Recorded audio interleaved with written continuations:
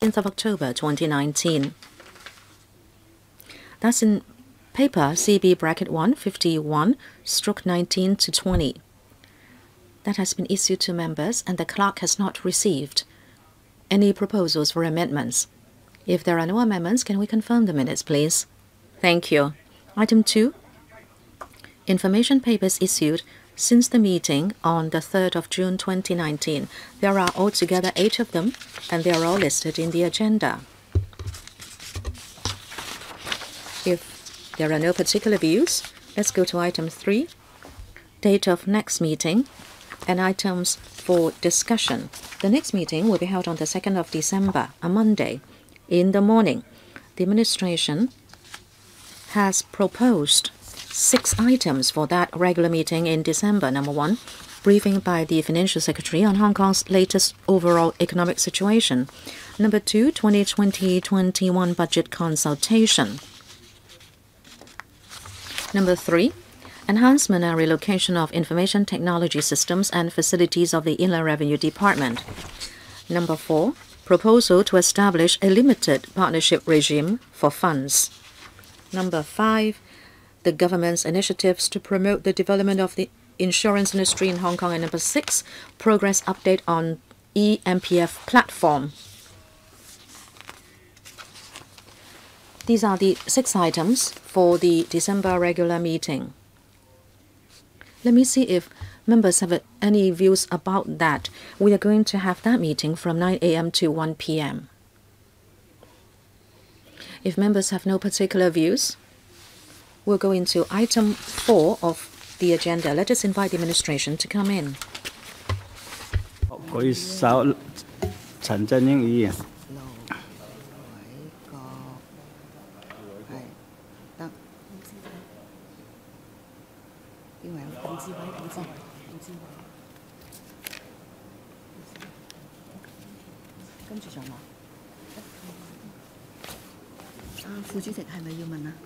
你有冇問題啊，副主席？我等最後啦，你擺埋我名。啊，得我等你。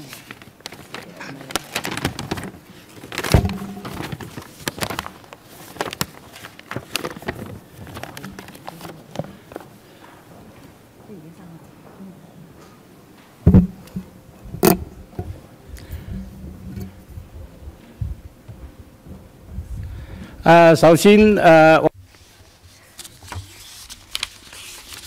I'd like to introduce the government team.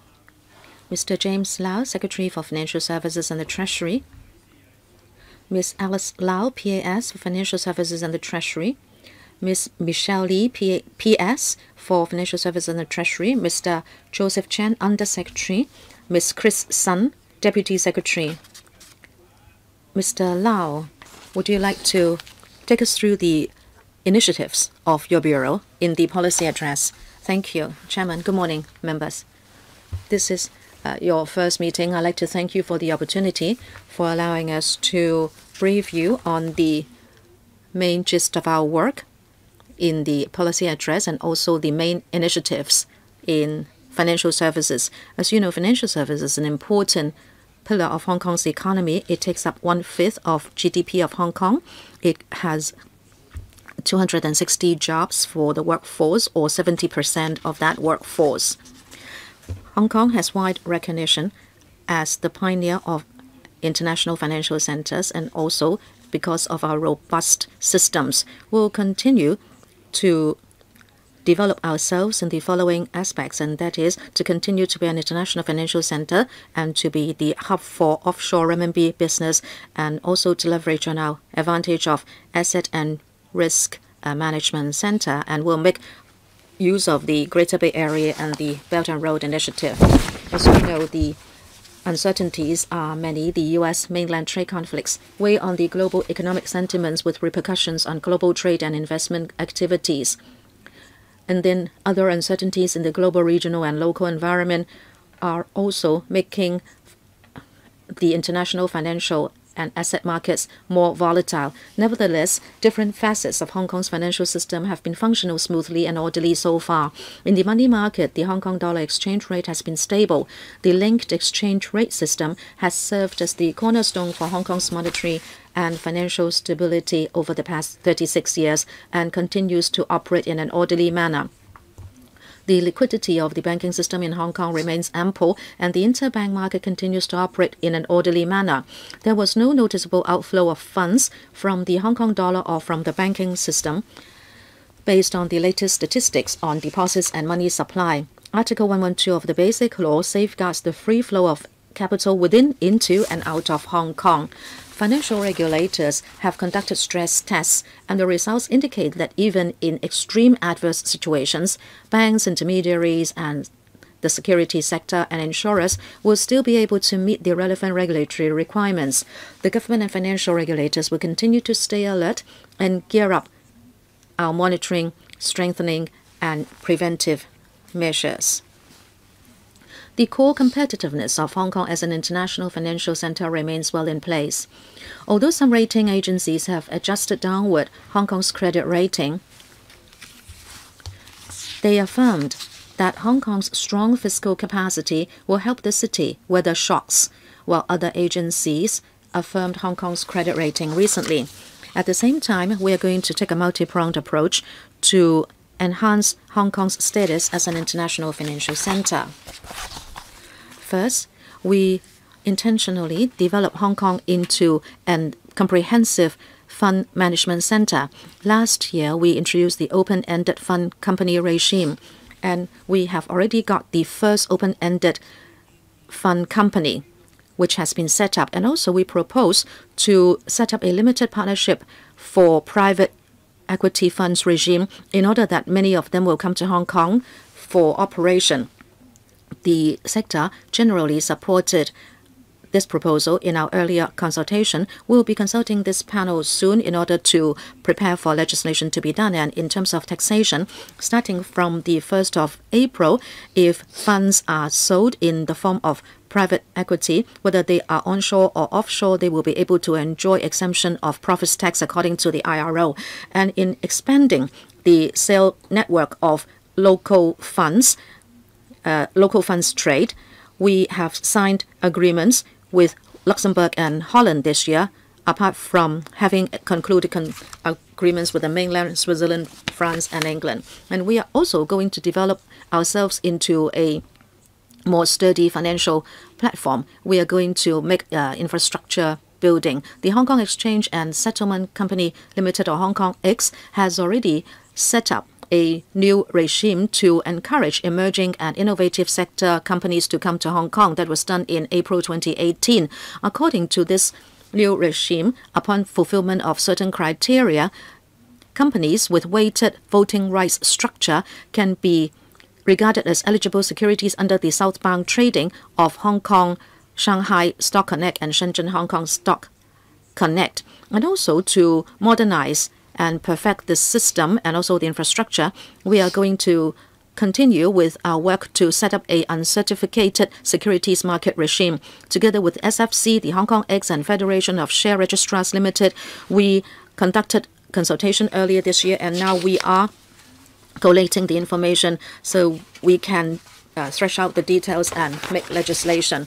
We'll continue to promote our financial cooperation with the mainland and we are going to try to implement more concrete uh, measures to for integration in the Greater Bay Area. We are going to expand the scale and scope of cross-boundary use of renminbi and uh, so that we can have more mutual access and cross-boundary wealth management measures. We have already implemented many facilitation measures relating to the daily lives of Hong Kong residents on the mainland, including the use of e-wallet and also allowing Hong Kong residents to open bank accounts remotely. This is a pilot scheme and we'll continue to work on this regard. In order to enhance Hong Kong's position as an international insurance hub, we will continue to reduce profit tax rate by 50%, that is 8.25% for general reinsurance business of direct insurers, selected general insurance business of direct insurers, and also selected insurance brokerage business. We also plan to enable the issuance of insurance-linked securities, for example, catastrophe bond by special purpose vehicles, so as to broaden the range of risk management tools in Hong Kong. We also plan to expand the scope of insurable risk by captive insurers set up in Hong Kong to meet the risk management needs of multinationals. We expect to be able to submit the relevant bill to LegCo within this session. And also, we are going to promote the use of fintech. The Faster Pay system was already launched in September last year, and it was widely adopted. And starting in November uh, this year, that is when we sent out tax demand notes rates and also water charges demand notes, we have already got the QR code for Faster Pay payment system, so people can pay through this system. And we are also thinking of doing this at different government departments, like the Companies Registry, Immigration Department, LCSD, um, the Transport Department, and also Official Receiver's Office. In the first half of the year, the Hong Kong MA has issued eight virtual bank licenses, so we can uh, have popular finances. The banking system has already implemented the relevant program interface, and the Insurance Authority has also uh, given authority to two virtual um, insurance companies. And the Cyberport will also be running financial technology training system. And also in the uh, government space, in the Wan Chai uh, government offices, we are going to set up fintech at Gloucester so that different sector Uh, stakeholders will be able to have exchange and create opportunities. On promoting green finance, following our successful green bond issuance under the government green bond program in May this year, we will continue to encourage more organizations to arrange for some financings for the green projects through our capital markets and expand the local green investor base. We'll also enhance publicity to raise our status uh, uh, in the uh, global green finance platform. As an international financial center, enhancing the regulatory system is of utmost importance to our overall development. Drawing on the latest Basel III standards, we have submitted or tabled into the Council the Banking Liquidity Amendment Rules 2019 to enhance the resilience of the banking sectors. To enhance the regulatory regime on insurance industry, the Insurance Authority has resumed responsibility for direct regulation of some 110,000 insurance intermediaries in Hong Kong through the new statutory regulatory regime for intermediaries. We'll also improve the regulatory framework for the supervision of insurance groups when the holding company is incorporated in Hong Kong. We'll also prepare the legislation for the policyholders' protection scheme as well as the uh, risk-based capital regime.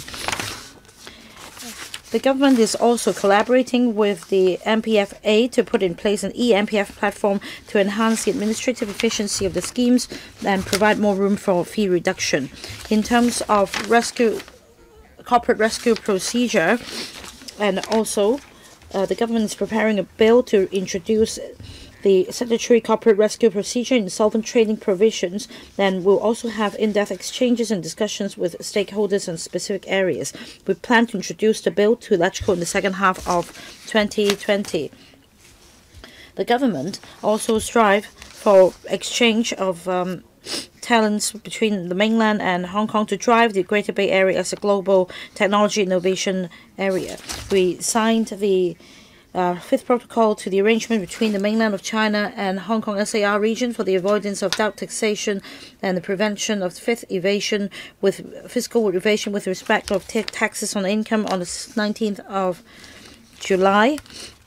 I have two minutes to go.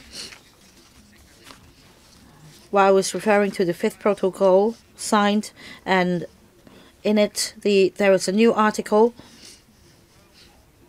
to reduce the tax burden of eligible teachers and res- researchers who work across the boundary.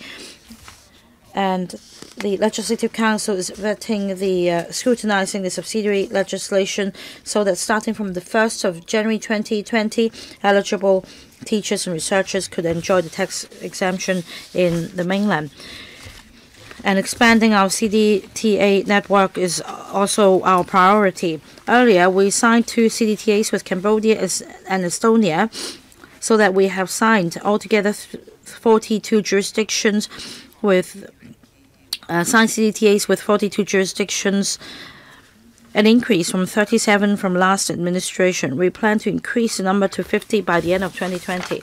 We have seven members waiting to ask questions. I'd like to read out the names. Jeffrey Lam, Lo Wai Kwok, Wu Chi Wai, Ronick Chan, Regina Ip, Alice Mak, Chan Kin Por, and Kenneth Leung. Jeffrey Lam, please. What's the speaking time limit? How many minutes? Three minutes? My ego, ego well, this is important, Chairman. Chairman, regarding this year's policy address, our comments are mixed. On the bright side, there are measures to help uh, the sector. For example, there are measures to help SMEs. However, apparently there is a lack of support for uh, SME, especially security firms in the sector. There should be measures to provide, say, waivers of license fees and other concessions. Hong Kong is an international financial center, so I hope you'll look into that as well. Secretary, you mentioned enhancing the um, regulatory system we're all for that, but there should be flexibility as well. Well, there was hardship last year. In the coming year, things could turn for the worse. And the financial secretary also mentioned when meeting with the financial services industry and the CNI sector in the UK, uh, the other side commented that they might reduce investment in Hong Kong in the coming year and this is crucial to our economic as well as uh, financial development. On regulating the banking system, I think I mentioned this a couple of times with you, and you also mentioned this to the financial secretary.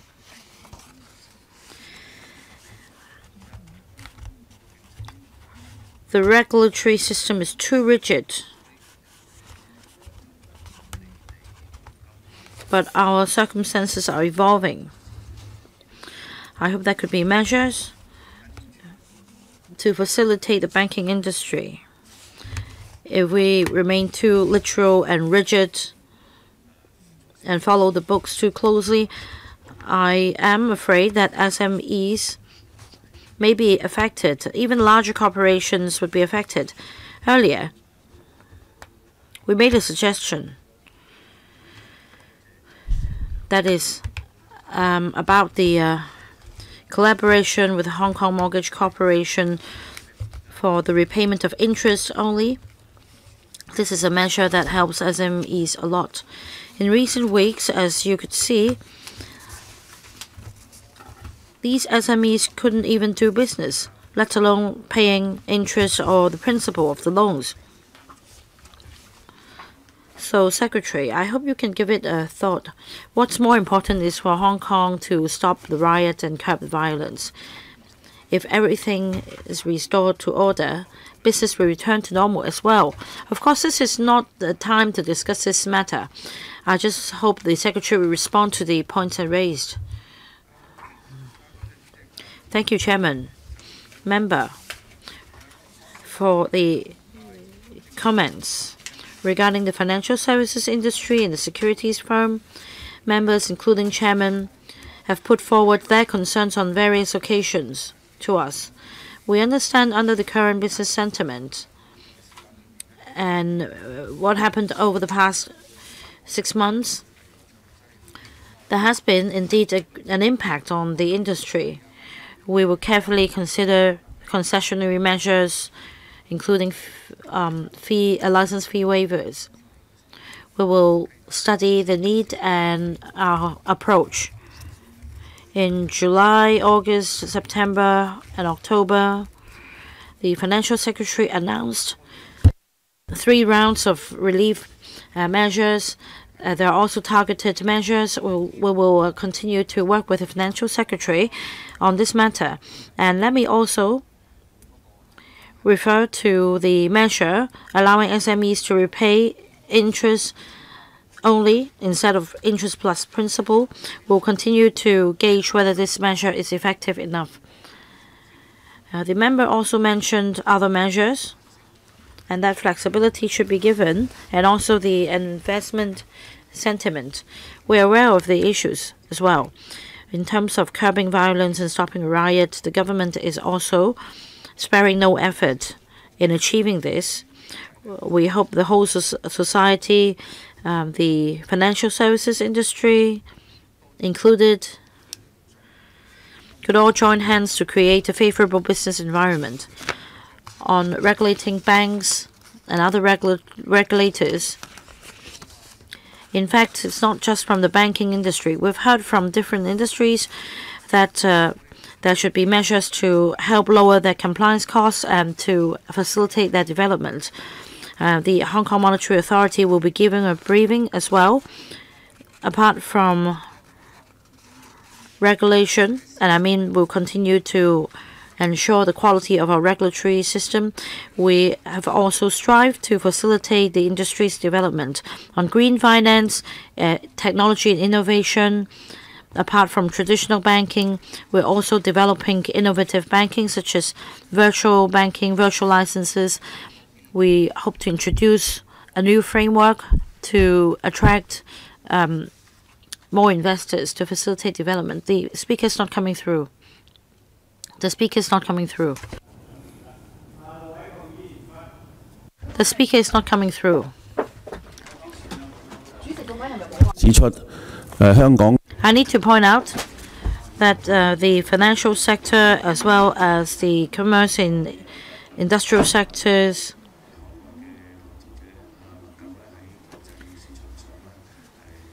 have been able to attract investors to invest in Hong Kong, and they played a very important role in our economy.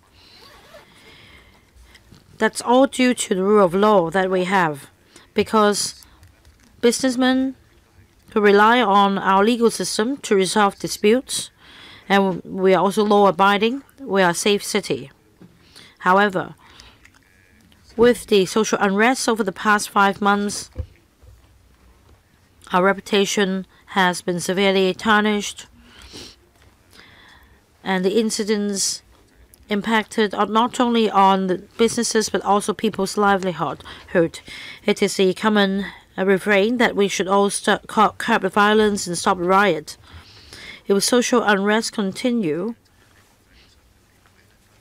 I am very concerned that our position in a global platform will also be affected on green finance over the past two years. The government has spared no effort in promoting its development. Last year, the government also introduced a green bond accreditation service. Together with a series of publicity and promotion efforts both overseas and uh, in Hong Kong, we have gained some traction. But I'd like to take today's opportunity to invite the administration to give us more details about the results of green finance development. This is often the question put by the industry. Despite the government's effort, how can Hong Kong benefit from it and what's the outlook And how does the financial sector in Hong Kong participate in this process? Because this is one important area in our financial system. I would like this development to bear fruit as soon as possible. Secretary. Thank you, Chairman. Well, member mentioned curbing violence and stopping a riot. Again, this is also our concern. The credit rating agencies recently commented on Hong Kong's situation, and they also placed focus on our rule of law and judicial independence. On social order, uh, as you all know, we are sparing no effort in curbing violence. On green finance, the government, as well as the industry, focus on four areas. One is green finance certification. The Hong Kong Quality Assurance Authority uh, is working with the government.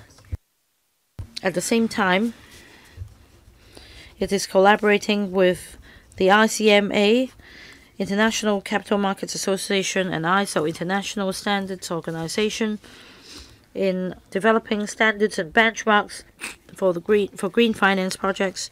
We also have a government green bond program.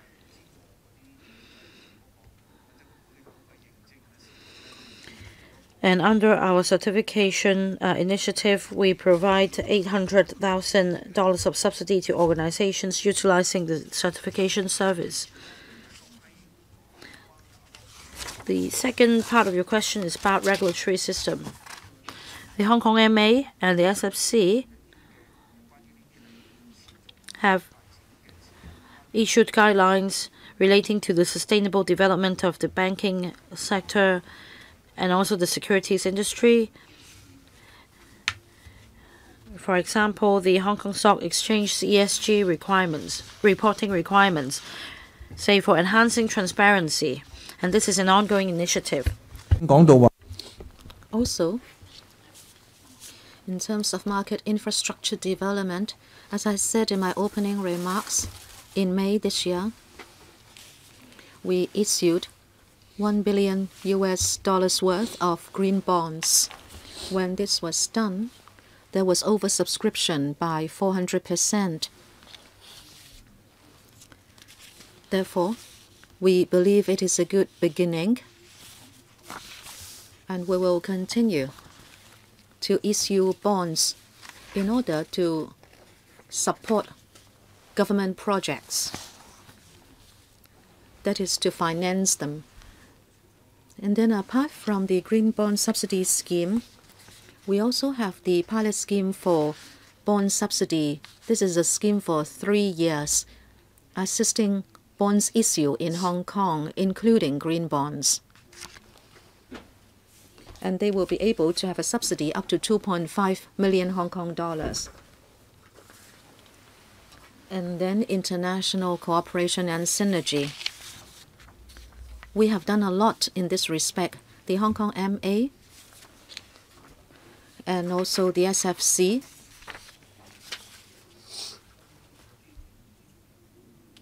As you know, at the Hong Kong MA, it has a infrastructure promotion board, and it has held a few seminars together with IFC on ESG, and that is our IFFO. And in the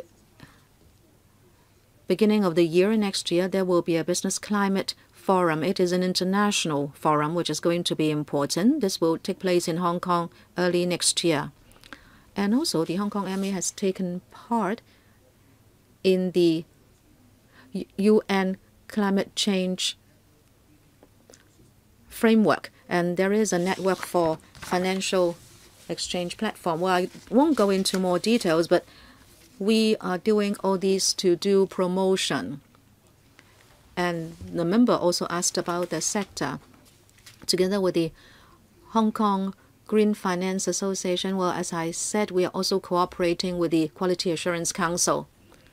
So we are working on all fronts. Well, the Secretary has not answered the most crucial point in my question, and that is I was saying that, okay, you did a series of promotion and publicity that is to be commended. But what about the effect? Right now, how big is the market? And in the coming few years, you should have some projection about how that market can develop in Hong Kong. If you do not have uh, the time to answer me, perhaps you can reply in a paper. And I'd like to make a declaration. I'm the incumbent chairman of the Quality Assurance Council, but I have no direct or indirect pecuniary interest related to it. Well, perhaps I can say briefly about the effect. In 2018, the green bond market issuance volume reached 11 billion US dollars, and compared to 2017, it's a doubling of the issuance. 64% was about mainland enterprises, 16% or 17% Hong Kong enterprises, and then 15% like uh, Asia Development Bank or European Development Bank, etc. So that is the actual result and effect. And this year, we are still going to promote it further. We also have uh, REIT, uh, which issued convertible bonds in March this year. So these are the actual results. And I was telling you the four things that we did to buttress this work. If necessary, we can certainly give a written reply to give more information. Mr. Wu? Thank you, Chair. Our colleagues have spoken on curbing violence and stopping the riots. I like just to add that if we are going to rely on the police to suppress the riots and Hong Kong turning into a police state, then the stability, so-called stability that you get, will not be the stability that Hong Kong should have as an international financial center. We have never seen any police state attracting a lot of investment from outside. I hope the administration will tackle this political issue with a political solution instead of relying on police brutality, police beating up people, police arbitrarily arresting people and uh, affecting social order. I think that is having a lot of effect on social sentiments. Coming back to the policy address, you always emphasize support for SMEs. Of course, we understand that there are three aspects. One, their business um, whether they have clients, two, operating cost, and three, cash flow. I think these are the three aspects which dictate whether SMEs can continue to flourish. In terms of operating cost, I know the financial secretary has said that he would like to appeal to the property owners, including maybe a REIT or Link, for them to reduce rent. Frankly speaking, the administration can, of course, have control over its own premises and space, but what about private shopping malls? It may have to use certain policies so that um, landowners will really reduce rent and, and for that concept to trickle through to the private owners. So I'd like to ask you whether you can do anything in order to facilitate the reduction of rent for SMEs. And then cash flow. I know that recently the Hong Kong MA passed a counter cyclic capital um, buffer and 300 billion dollars have been plowed back into the market for supporting business. I'd like to ask, well, um, it has been done for just two weeks. I'd like to ask you whether you have observed any effect of that measure.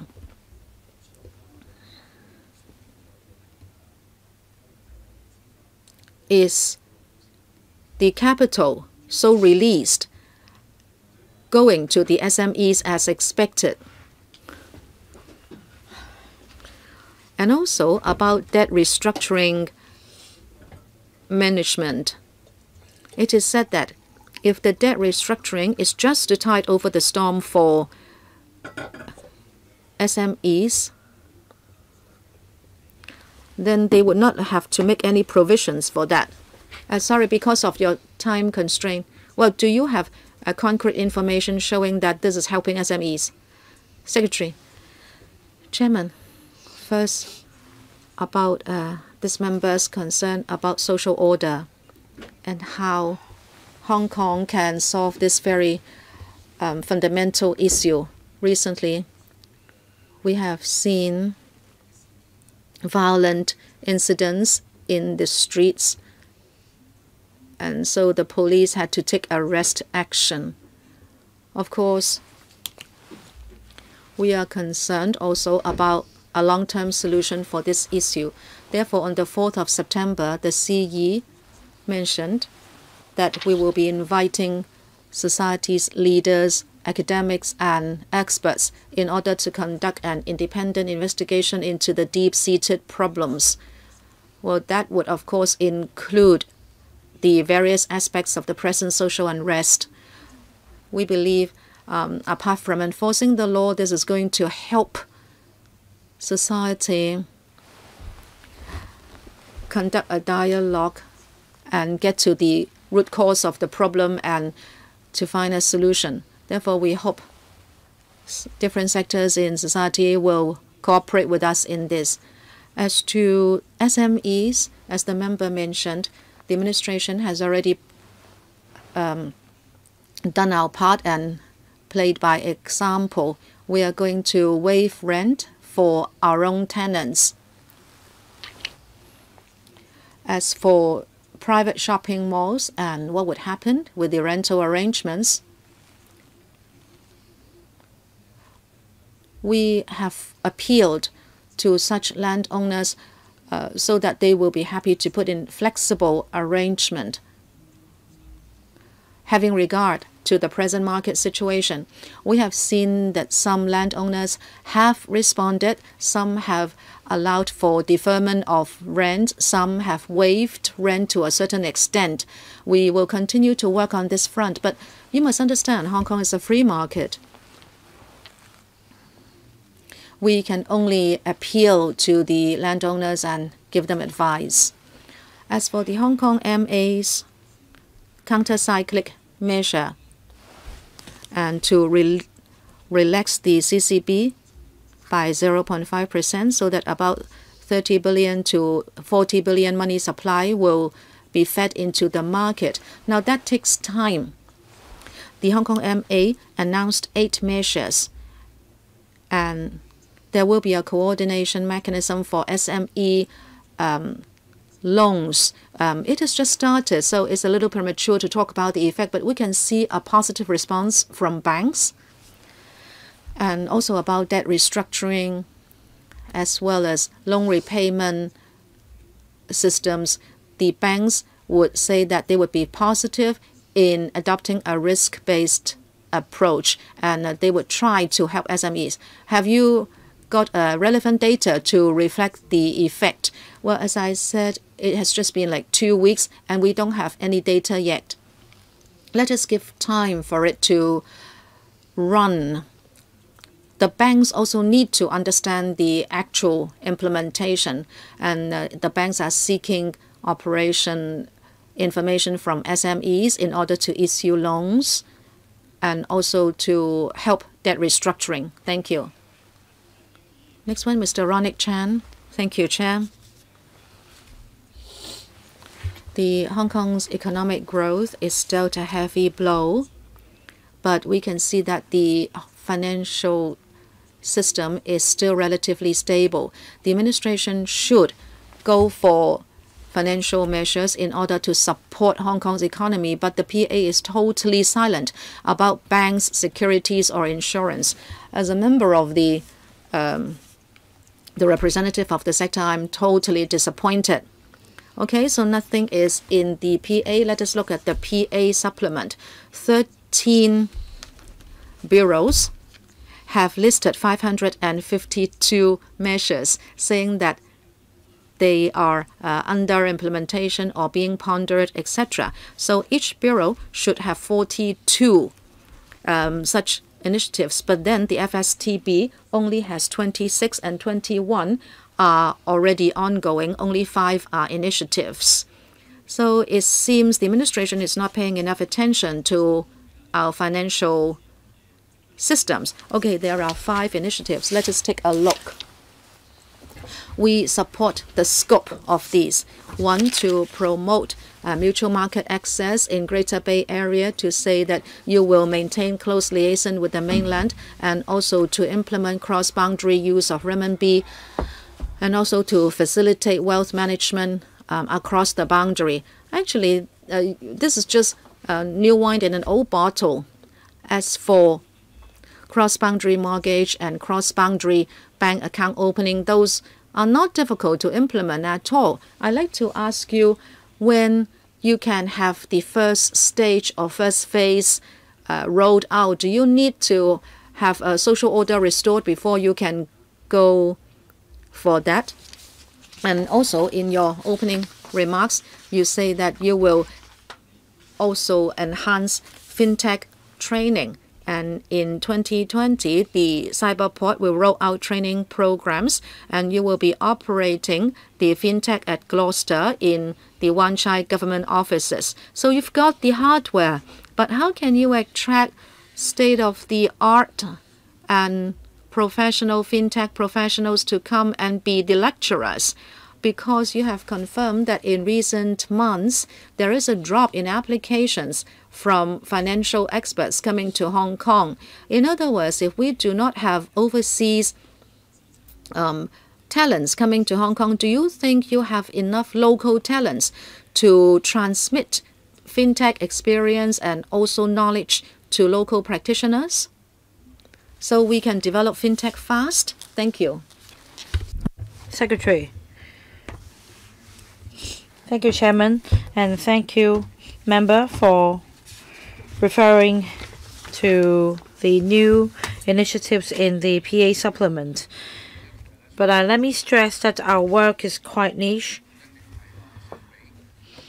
We can't compare the number of initiatives in number. We have 26, but we are uh, sparing no effort in terms of um, talents.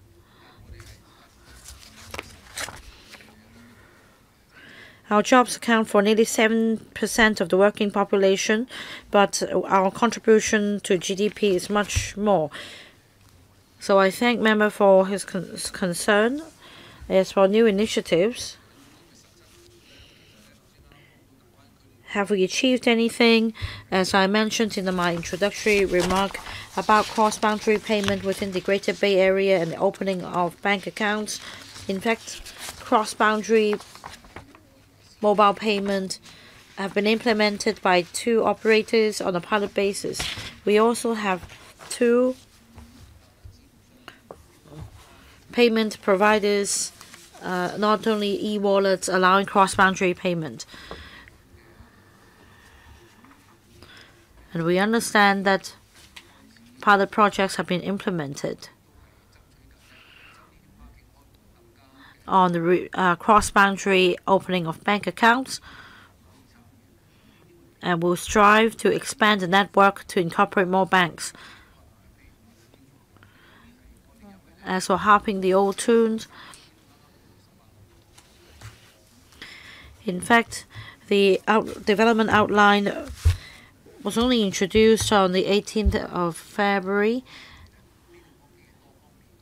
and the Hong Kong Monetary Authority is actively liaising with the counterparts on, say, wealth management as we strive to allow mutual access to the markets. About the training scheme run by Cyberport, fintech courses for in-service practitioners of the sector and also fintech at Gloucester these are the hardware initiatives that we're working on. On qualified teachers and researchers. Of course, we'd like to attract foreign talents as well as grooming local talents.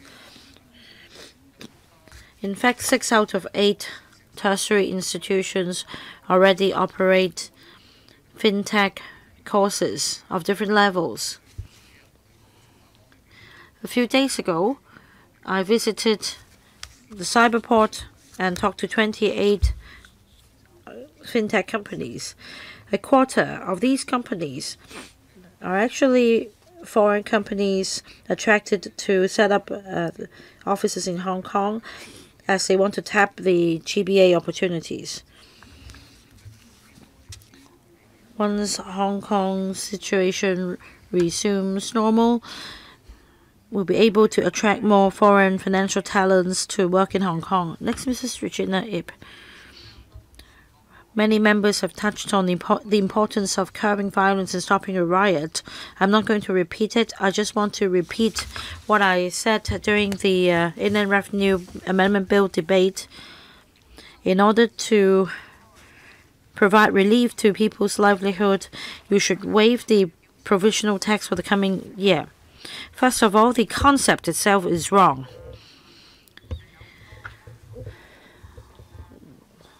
Our deputy chair is an accountant. We also have a lot of talents within the government, like Chris Sun. You should understand the time value for money concept.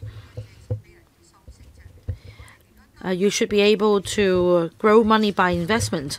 That's why you charge an interest to loans.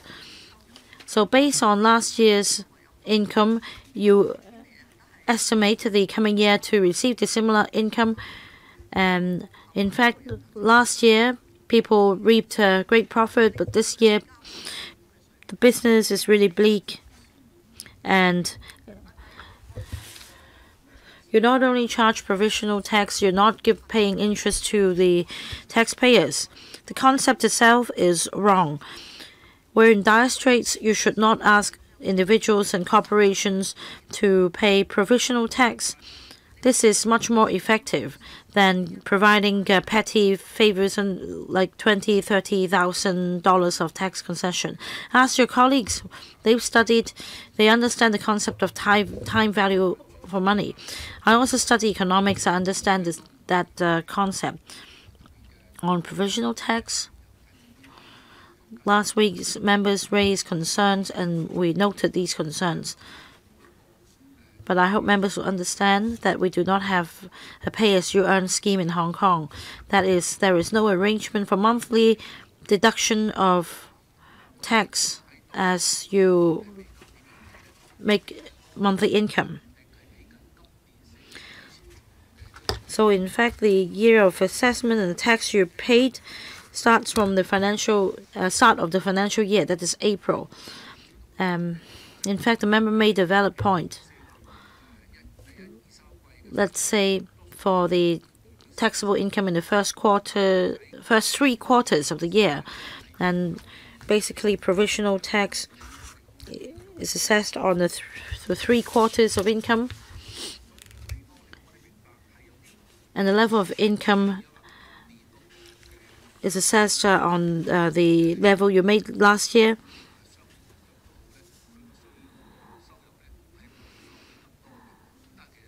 Indeed, because of business operation and a drop in the level of income, the profits chargeable to tax may not be as high as last year. And in fact, we have an arrangement. If the drop is more than 10%, you can make a request with the Inland Revenue Department for uh, consideration. We already have this arrangement in our mechanism. We note members' concern, but at the same time, we feel that the provisional tax arrangement isn't entirely unreasonable. Chairman, of course, I understand that uh, you can have refund of uh, tax um, paid out of the assessment. Well, that's what happened to me when I was secretary in 2003. Uh, when I was no longer the secretary in 2004, but I waited for at least a year because, before I received the tax refund. You should consider at least waiving the tax for the provisional tax for a year. Secretary, let's say usually in The IRD um, requires tax payment in two installments, one in December, January, the other in March, April. You can at the same time write to the IRD saying, for example, that you've retired and you're making much less income. But under normal circumstances, you should pay tax first and then request for a refund. I will look into the issue raised by a member, but like I said, this is how it is handled. Now, the enterprises are telling you that they are making great losses. Can they tell you that now? Well, if the drop is more than 10%, then a corporation can write to the IRD. Say if I made $100 million of profit chargeable to tax, if this year I only made uh, 0.9 million, I could write to the IRD, and I think this is a reasonable arrangement. So you'll be receiving a lot of you'll be receiving a lot of letters. I mean, the IRD will receive a lot of letters. Uh, this is part of their work. So, Secretary, you consider Mrs. Ip's suggestion? Yes, I will. Ms. Alice Mak. I'd like to pick on pick up on this point. Waiving the provisional tax for one year isn't a new suggestion. In the beginning of this year, when we met with the financial secretary on the upcoming budget, we also urged the financial secretary to suspend provisional tax for a year or to further review the system. The secretary mentioned if you are making less income or profit, if you're retiring, you can make another application. The point is, it is cumbersome. You should know that the majority of uh, business operators were making um, a lot less profit this year. And if you require them to make applications, you are adding to the burden of your own colleagues and you are making the whole procedure cumbersome. Don't bring trouble to the to the people. While other members already mentioned curbing violence and stopping the riot, we're chaotic enough. Don't make don't further complicate the, the matter well, suspend the provisional tax for just one year, please? I understand, of course, we do not have a pay as you earn scheme. If we suspend it for one year without affecting the government's operation, then why don't you do it to save the trouble, to save the hassle? As I mentioned in the council meeting, many taxpayers need to take out tax loans in order to pay tax because they need to pay provisional tax. Will you pay them back the interest? Will you help them? Do you give them tax refunds? If the government is really minded to help taxpayers, and if the government is really having so much resolve, determination, and thinking out of the box, the government should suspend the provisional tax for one year. You can spare taxpayers the hassle of applying with you. Second, Having read your article, uh, having read your paper, I see no measure on regulating crowdfunding. We have more and more crowdfunding activities in Hong Kong. Uh, there is crowdfunding for uh, for um, lawsuits and uh, also other matters. And if crowdfunding is not regulated, it could easily become a money laundering trick. For example, uh, I once read an article that after raising funds through crowdfunding, one could become a money lender to provide loans. And this is all because of crowdfunding. Um, we have different conduct in the financial or, or different uh, financial activities relating to crowdfunding. How can we balance regulation with healthy development?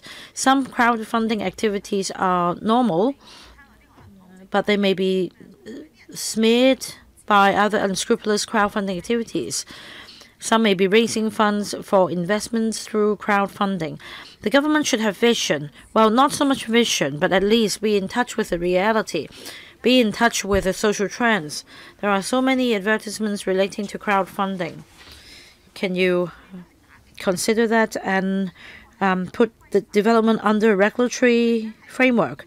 That should be regulation or it could become a um, a money laundering tool and a tool for making committing crimes, and also about the MPF system.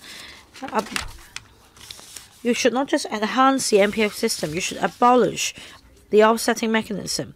Is there any timetable to expedite the offsetting um, problem? Next, I'd like to talk about the money lending ordinance. Well, we've talked about the same point for so many times. The Consumer Council recently also published a report. When are you going to conduct a review and enhance the regulations? Secretary, thank you, member, for the concern. About provisional tax, well, it is cumbersome, it is a great hassle, etc.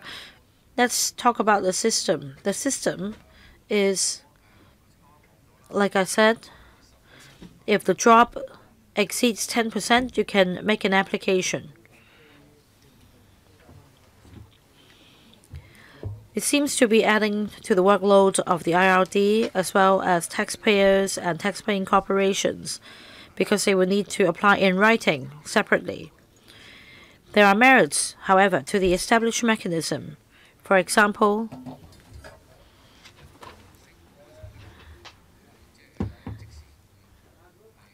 if a taxpayer receives more income this year,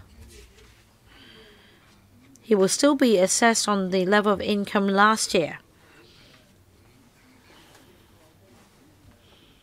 That is, despite the increase in income, the taxpayer will not be asked to pay more, and vice versa.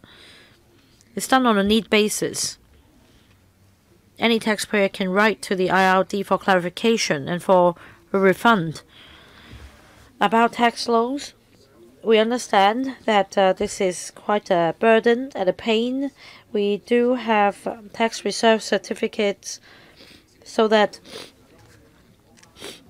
the public can take uh, can buy certificates and uh, recently there is an initiative to increase the interest rate for tax reserve certificates.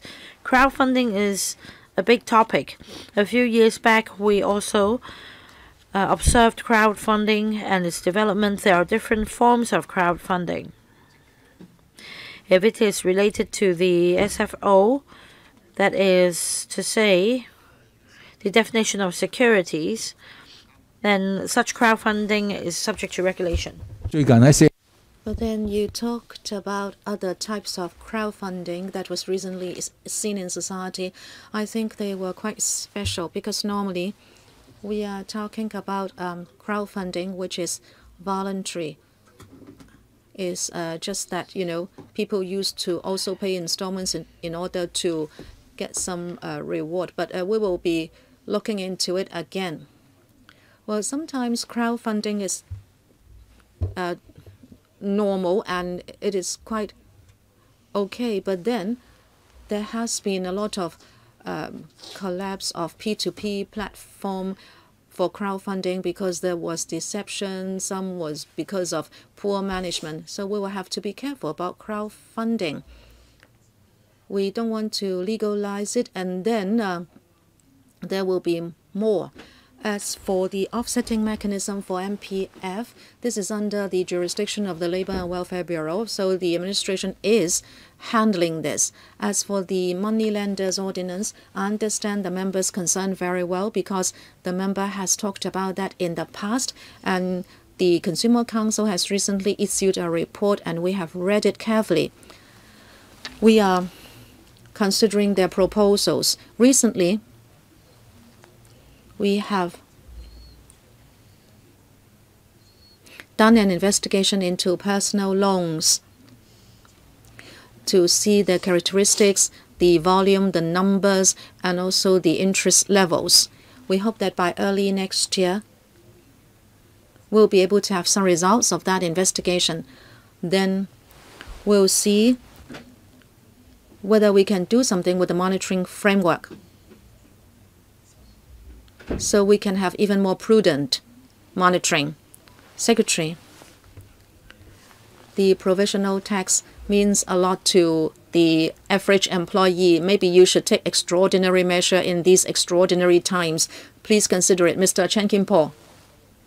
Thank you, Chair.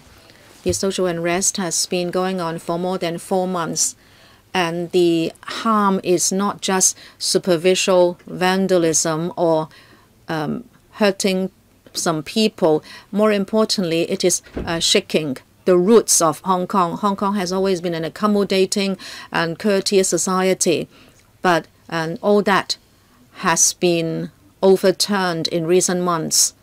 Hong Kong is an international financial center, but Secretary, I think you know many companies are rethinking whether they should come to Hong Kong for a regional headquarters, and they may choose Singapore or the mainland over Hong Kong. And even if they are thinking of setting up a branch in Hong Kong, they are having second thoughts. I think that is going to hurt really deep. Maybe young people don't know about this. They may think that it's okay for them to adopt a mutual destruction policy. Um, they may think that if they burn, we burn with them, and then we can all start afresh. But then they may know, they may not know that what we are having now is the result of many years of hard work. And then about political parties who should know better than our young people, I think it's shameful for them not to come out and say something to stop the riots. They are trashing the future of our young people because these young people have no prospect. Young people should know these political parties for what they are, and then when they become sober again, they should um, let these political parties know that they actually have done irreparable harm to Hong Kong. In your supplement, uh, you talk about trade and investment. And then for overseas coming co companies coming to Hong Kong, there are now 9,004 compared to 2017. There is a jump of 9%. And then uh, regional headquarters, 1541 companies, and uh, it seems there is a rise of 9.9% compared to 2017. I don't know why you compare ourselves with 2017 and not 2018. And of course, you are not telling us the updated situation. I'm sure these figures are going to drop. I hope Secretary and your team and also the Invest Hong Kong team must think of a comprehensive plan to first of all stop the riot if you still have the riots, what can you tell people about Hong Kong? And then you should mount a large scale publicity campaign to restore people's confidence, or else Hong, that's uh, the doom of Hong Kong.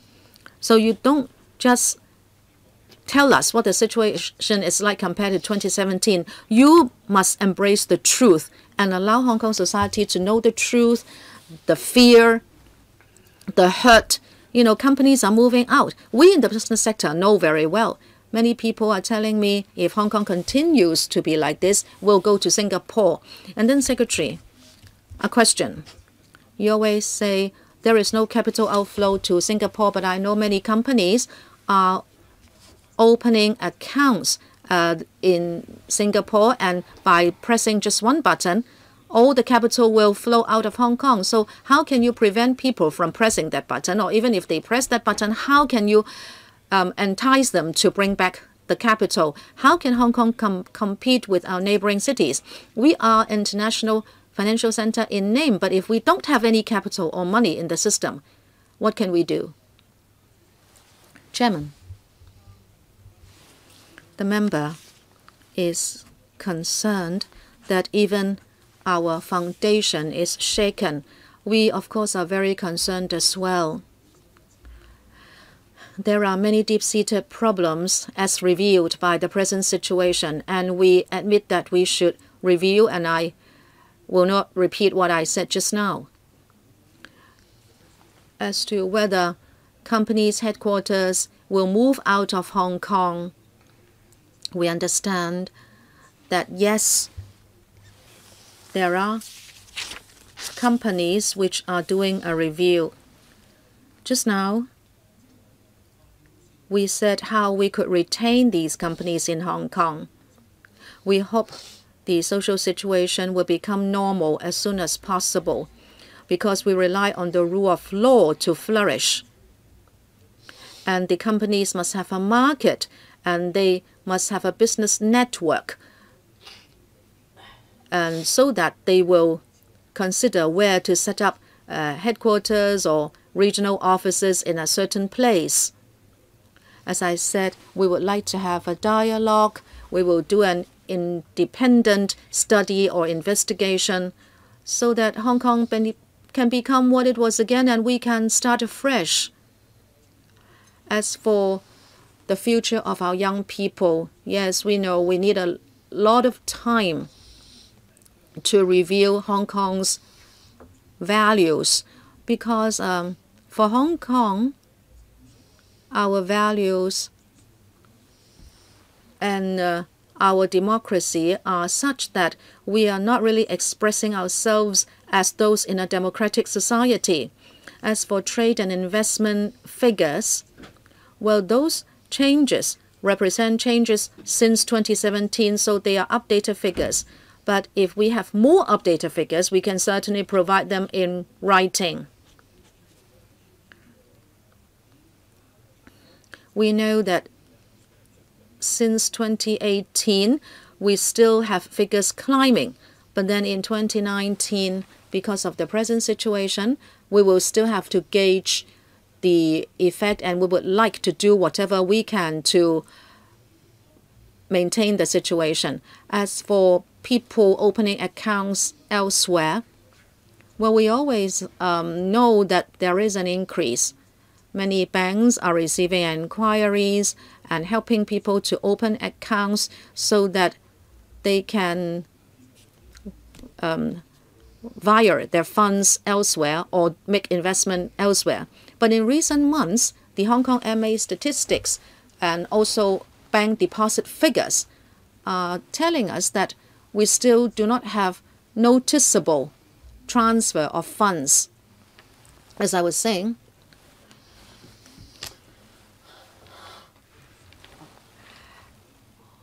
we, of course,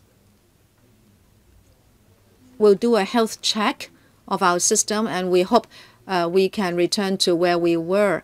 As for pressing the button and wiring funds, I know many investors are not doing that yet. We can see that well, yes, we have a technical recession in our economy this year, but then the mainland economy is still growing. And in the planning outline of the Greater Bay Area, we have mutual market access, cross-boundary use of renminbi, and also along the Belt and Road countries. Well, these are not just names only. We have done a lot in all these aspects. We will continue to support Hong Kong's development financially and economically. Next one, Mr. Yiu Si Wing. Thank you, Chair. Speaker not coming through. Sorry. Thank you. Well, the biggest impact has been on micro and SM enterprises. Some officials have also said that the impact is bigger than in 2003 when we had SARS. In that year, the economic situation was not good at all. Many enterprises suffered. And then on the 23rd of April of 2003, the administration came to the FA panel and submitted a paper to put aside $3.5 billion for a 100% guarantee for enterprises. It went to council immediately and it was endorsed. Now that is important. Now you propose an 80% loan guarantee facilitation. But then SMEs still have to go to banks to take out loans. The procedures are long. The interest rate is as high as 4 to 5% on average and sometimes higher. If you can have a 100% guarantee arrangement, it can help the micro and SMEs enterprises ride out the storm. Now, I'd like to ask the Secretary, given the present situation, can you do what you did during SARS? So you put aside some money as a 100% guarantee. Well, information tells us that in the end, only $500 million loan was taken out, and the bad debt um, was about $25 million. So the risk is not that high. I think it's worth your consideration. Number two, the administration said that you would like to enhance the 80% guarantee to 90%. My question is, When do you think this can be realized? If not, people are still suffering. The new year is round the corner, and we'll have the Chinese New Year when many enterprises will pay an extra month's salary to their employees. And so, how can you help the cash flow problem of SMEs? Secretary. Thank you, Chairman. About SMEs and micro enterprises, the 2003 experience was that we provided 100% guarantee, and members have recently said that uh, we should provide guarantee for enterprises to help them pay their employees. We will look at it again and gauge the Hong Kong situation. But then, as for the figures, uh, the member said that in the end, $500 million were taken out as loans, and the 25 million was the bad debt. So it was 11%. No, no, no. You put aside 3.5 billion, and then out of 500 million dollars that was loaned out, there was a bad debt of 25 million dollars, if I remember correctly. But then we'll continue to pay attention. We have said that in the future, as the situation develops, we will see what kind of relief measures we can take. Uh, we'll look into that. Thank you for that question. Chairman, if that's the case, I think you are adopting delaying tactics. I think you should have a more concrete timetable and roadmap because you have done it before. And I'm sure if you roll out something like that, the LegCo will support and endorse it. I hope you will not say again that you will take another look because the Chinese New Year is round the corner. And I can't see riots being stopped anytime soon. And this is something really urgent. I hope you can do what you did in 2003. And secondly, you have not answered my question. You say you'd like to have the guarantee at 90%. When do you think you can realize it? If it is uh, so difficult, why don't you just go for 100% right away? Secretary, the member said that this is urgent. We understand that. Uh, we will follow it up. On a 90% guarantee, we do not have concrete information at the moment when it will be rolled out. We will work with our counterpart, the CDB, and liaise with them. Because this initiative targets technology and innovation sector 90% guarantee will be provided to this sector. Not it's not a blanket policy. Now, have you considered working with the business sector because the business sector is willing to provide um, the invest the uh, the funds as well. Can we invite the business sector to make up for the remaining 10% so that we can have 100% guarantee and provide low interest loans as well? Will you contact them? Please be brief, Secretary. We relate to the relevant um, bureau to see whether we can further raise the percentage and collaborate with the business sector. Next, Mr. Wong Ting Kwong. I'm sorry, I have a point of order. Can we have the speaking notes of the secretary? Because I notice that there is no paper available. There is only the policy address. Yes, of course. Uh, are you referring to the speaking notes that I gave just now? No, no speaking notes. I'd like to see if Secretary has responded to the measures that we mentioned in our debate. I'm sorry, Chairman. We will we will uh, supplement that in uh, immediately. Oh, Ms. Starry would like to refer to it now. Right, we can give you a copy uh, immediately. Mr. Wong Ting Kwong. Thank you, Chairman. I'd like to pick up on the point about provisional tax. Recently, my industry has complained to me about the provisional tax payment. It's been five months since June. Because of social unrest, Hong Kong's economy um, it's on the edge of the cliff and it's plummeting. Several industries are bearing the brunt, and I think Secretary has full knowledge of it as well. The point is, the IRD is going to issue demand notes very soon, apart from the um, payable tax in the year of assessment, the taxpayer is also required to pay provisional tax based on the uh, income assessed uh, in the year of assessment, that is 2018 2019. Uh, the environment on the whole was favorable, but since social unrest emerged in June, businesses have fallen drastically. So if the provisional tax is calculated on the basis of the uh, previous years of year of assessment 2018-19, it is going to pose a huge burden on them. Of course, you just explained that if the fall exceeds 10%, you can write to the IRD. But the problem is, according to experience, it is not easy to make a written application. It's not an easy uh, claim, and the IRD may not necessarily approve the application. My industry has asked me what should be submitted in support of your application.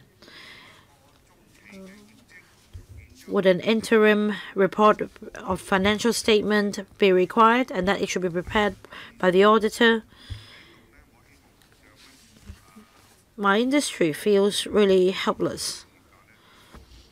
I hope Secretary you can take this opportunity to explain to my industry how these um, claims or applications can be effectively approved.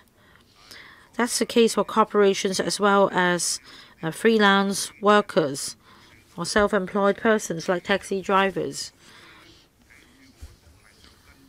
They're also having uh, hardship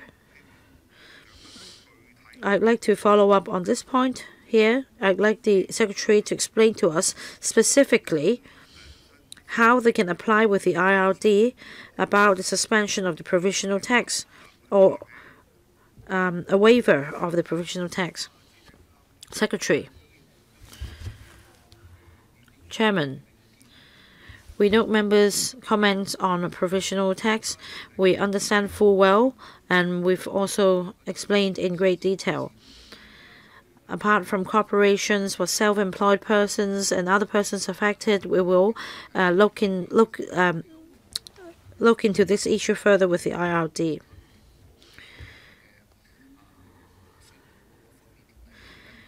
The Inland Revenue Amendment tax concessions in amendment bill is yet to be passed by LegCo, and under the enhanced tax reduction rate, 600, uh, 66% of the taxpayers will be exempted from paying tax. Only remaining 34% will be required to pay tax. And under the present circumstances in Hong Kong, we will uh, work it out with the IRD on appropriate arrangements. Chairman, uh, for the tax concession, it applies to the YA 2018-2019. For the 2019-2020 year of assessment, it is not subject to any tax concession. So after deducting the tax concession ceiling of $20,000, you still need to pay the provisional tax for the coming year. It is not as easy as it sounds. You may not understand the plight of my industry. Of course, if you make a profit, you should be responsible to Hong Kong as well, and you should be required to pay tax. The problem is they are suffering huge losses and they don't, don't earn any sympathy from you. So do provide concrete help to our industry. Don't just uh, have as things on paper and not doing some real work. Well, in fact, starting from April 2019,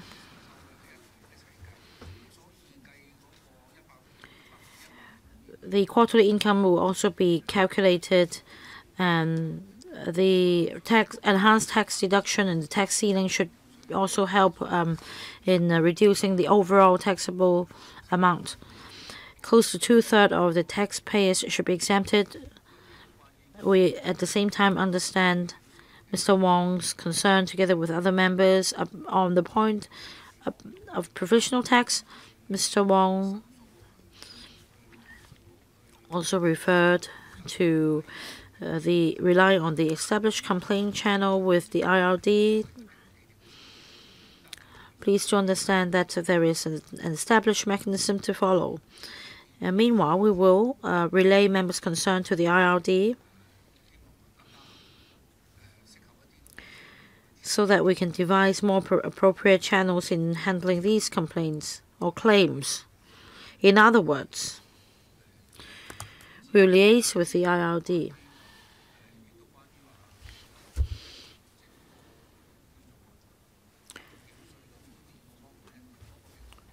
on waiver of provisional tax is a rather big topic that warrants more detailed consideration. Next, Ms. Starry have you finished reading? Yes, thank you, Chairman. I'm very concerned about the various requests made in our recent debate by the Secretary. I've read the speaking notes. I'm disappointed to find a lack of response.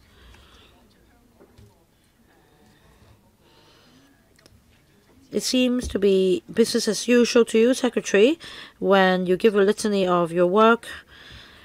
But in fact, we're not in ordinary times.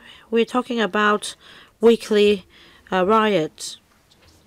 Curbing violence and stopping the riot may not be the top priority of your bureau.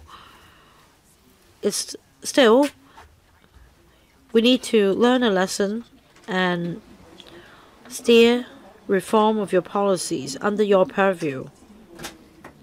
So, Secretary, have you added these elements in your portfolio? Because, like the Chief Executive said, this policy address is far from ordinary, but I don't see any targeted initiatives. And like I mentioned in my debate, this uh, these incidents stem from the extradition bill, but it also shows how we're not addressing deep-seated problems such as overdominance of the property sector, um, homogeneous economic structure. These are all prominent problems. So, Secretary, how does your paper or speaking notes address these problems? Second, previously, we gave you a lot of comments, especially during the debate. Some colleagues mentioned provisional tax. You already gave a response, but please do go back and consider whether some special arrangements can be made to help and to tide SMEs over difficulties. Next point is about rent. As we mentioned in the debate, rent poses one important burden on SMEs.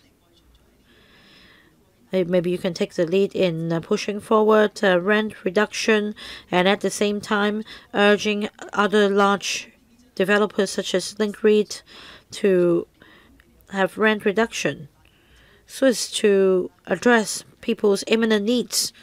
As in fact, we mentioned this point uh, on the first day of the debate. We want to know the progress. The third point is about $4,000 cash handout scheme.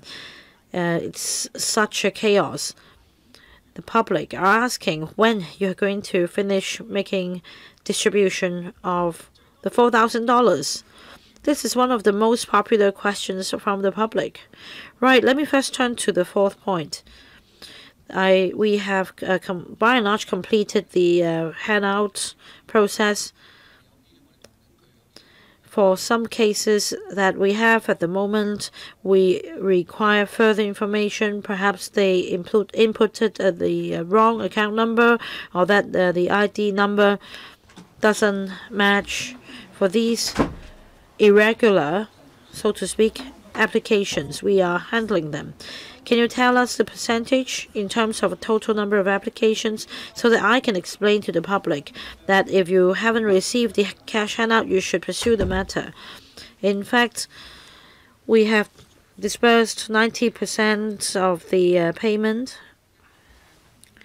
or rather, um, the remaining is just 1%.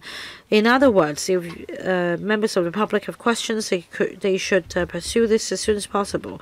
Right, uh, we uh, have written to them. We've also called them, uh, but we are awaiting response. We are pursuing these cases. We have yet to receive a response uh, we do have manpower to follow up on these cases. All right, this is very important. There is no time limit, is that right? You will just ask the public to approach as soon as possible. There is no time limit, and we are still handling these cases. Can you give us a roughly a time frame? Well, I'll invite Ms. Alice Lau, the Permanent Secretary, to respond to your question. About the $4,000 cash handout scheme, let me clarify that we receive around 3 million applications.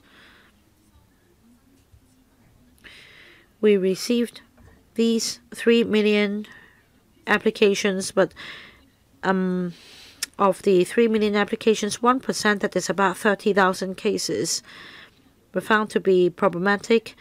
For example, they do not meet the eligibility criteria or, or that they are eligible and yet they have not provided the correct particulars, such as a bank account or that the bank account number doesn't match the name of the applicant. We've exhausted every means to try to contact the each uh, and every applicant in these cases based on the name, uh, the phone number, or the ID card number they've provided. And some of them have submitted the applications and they've been so-called shortlisted pending further and complete information. We urge them to contact us as soon as possible and we'll try our best despite the longer time needed for processing the application to help them because we're not talking about uh, the applications not received that we've received the application.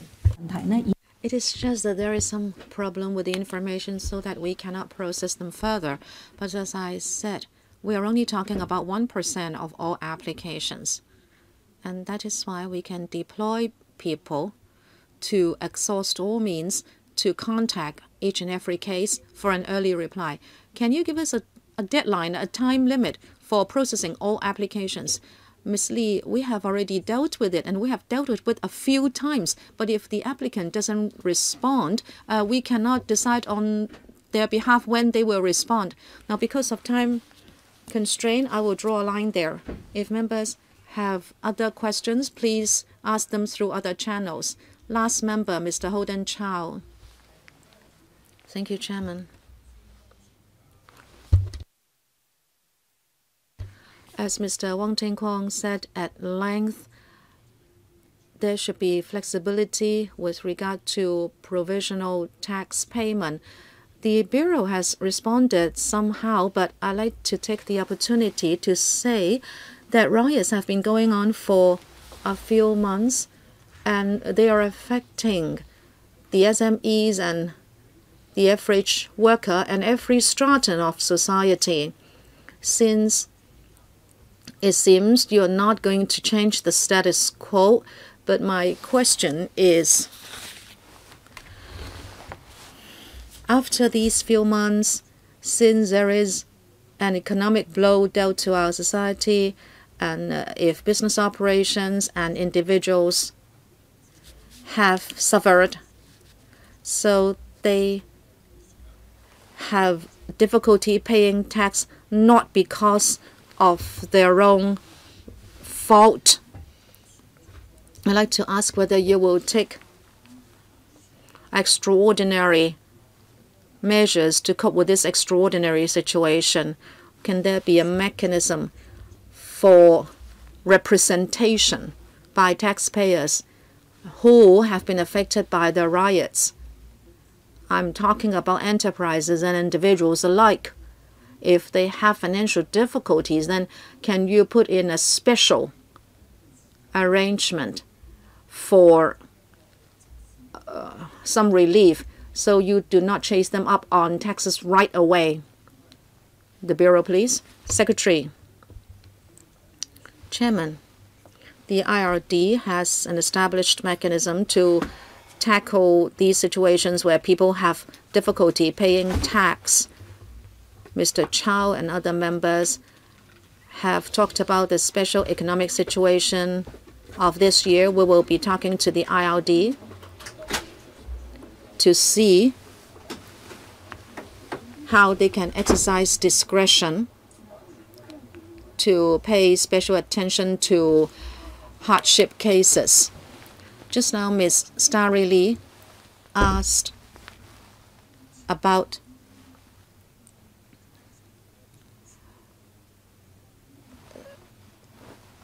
how we are going to review our financial policies given the social unrest. Well, in terms of financial services policies, we are going to promote fintech in order to help young people and startups. And while we do so, well, that's why I, I talked about fintech, both the software and hardware, and I won't repeat myself.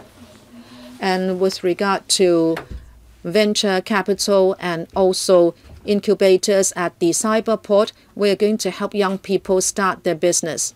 And also, virtual bank licenses. These will help us make our financial system more inclusive. This will be helping society as well. And also the development of payment systems will help small businesses get more opportunities. And as I was saying, on the 4th of September, the CE already said that we would be inviting academics, social leaders, and experts to conduct an independent study and review on deep-seated issues. And the economic structure, financial services, etc., uh, we will be taking part in the review uh, vis-a-vis -vis these aspects. Thank you, Mr. Kenneth Leung, Vice Chairman. Okay, let me talk about macroeconomics first. This week, President Macron of France will visit China and there will be an exchange with President Xi. Last week, I talked to the consul of France in Hong Kong and talking about French investment in Hong Kong. The consensus was that as an international financial and trade center, there are three factors that are most important to Hong Kong. I believe President uh, Macron will talk to President Xi about this as well. First of all, free flow of information, which is very important. Number two, rule of law. And three, that they don't want Hong Kong to become a police city.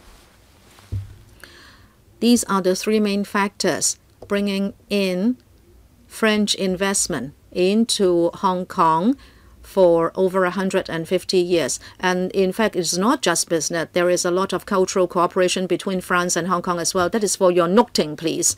Number two, some members talked about provisional tax as the Bills chairman, Bills committee chairman of the 2019 Inland Revenue Tax Concessions Bill. I, of course, hope that the bill will be passed. And now we know that actually 66% of taxpayers will be exempted from paying tax if the bill is carried. I hope that when you tackle provisional tax, I hope you will be more lenient and flexible. And some members ask whether people have to submit an audited account statement. Um, I, I hope you will not require it to be submitted. And then I come to some concrete questions. I don't know whether I have time. I have three such questions. Looking at all these financial and economic projects, I think uh, the most important thing is uh, one, the wealth and or asset and risk management center, and two, the capital market. You are developing ESG and fintech and even insurance. I think they all spin around these two pivots. I think you are in fact doing everything in order to create the right environment for these two industries to develop. This is my view. And then I will ask these more micro questions about a fund certification. You have to sign an agreement with each and every country. Now, if you have got an agreement with Europe or the European Commission, then uh, all certified funds in Hong Kong should be able to circulate within the European Union. Is that my misunderstanding or something? And two, with regard to wealth management compared to Singapore, how do our figures look? Singapore is, of course, competing with us to become the asset and risk management center of Asia or even the world. Have we done any publicity in order to compete with Singapore? Because Singapore has invited many spin doctors to publicize themselves in media, including Hong Kong media. So, are we spinning Hong Kong as an asset and risk management center um, in their media and how we can win over them? Chairman, about fund certification. Uses funds of the European Union are recognized in Hong Kong and they can be sold here. But if Hong Kong funds have to go to the EU, as I said, we need to enter into agreements with individual countries like Holland. But if there can be a multilateral mechanism, that would be ideal. But as far as we understand, this is the present arrangement. Well, Secretary, my question is, have you talked to the EU about a pan-EU mechanism? Would that be possible? We can explore that. But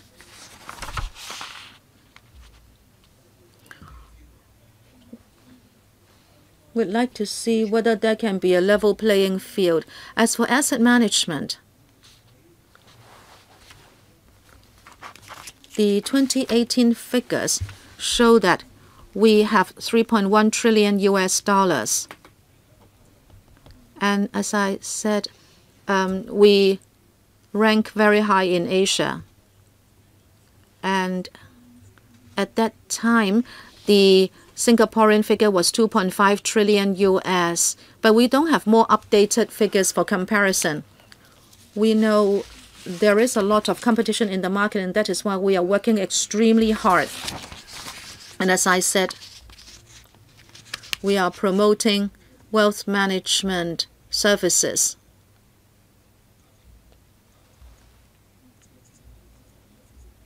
As especially family asset office. We are working very closely with the sector. As for publicity, you are correct. We always want to do much more.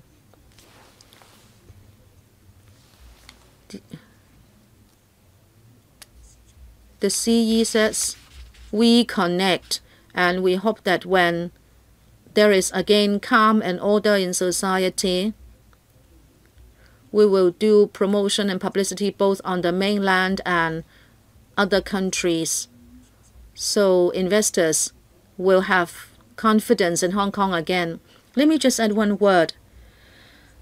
The most effective publicity is not done by the government. For Singapore, there are articles written by key opinion leaders and uh, without showing that they are part of government. Please consider that. Yes, we will consider that. Thank you. Lastly, I'd like to say a few words. It's time, but I will be very brief. As an international financial center, the most important thing is to have social stability.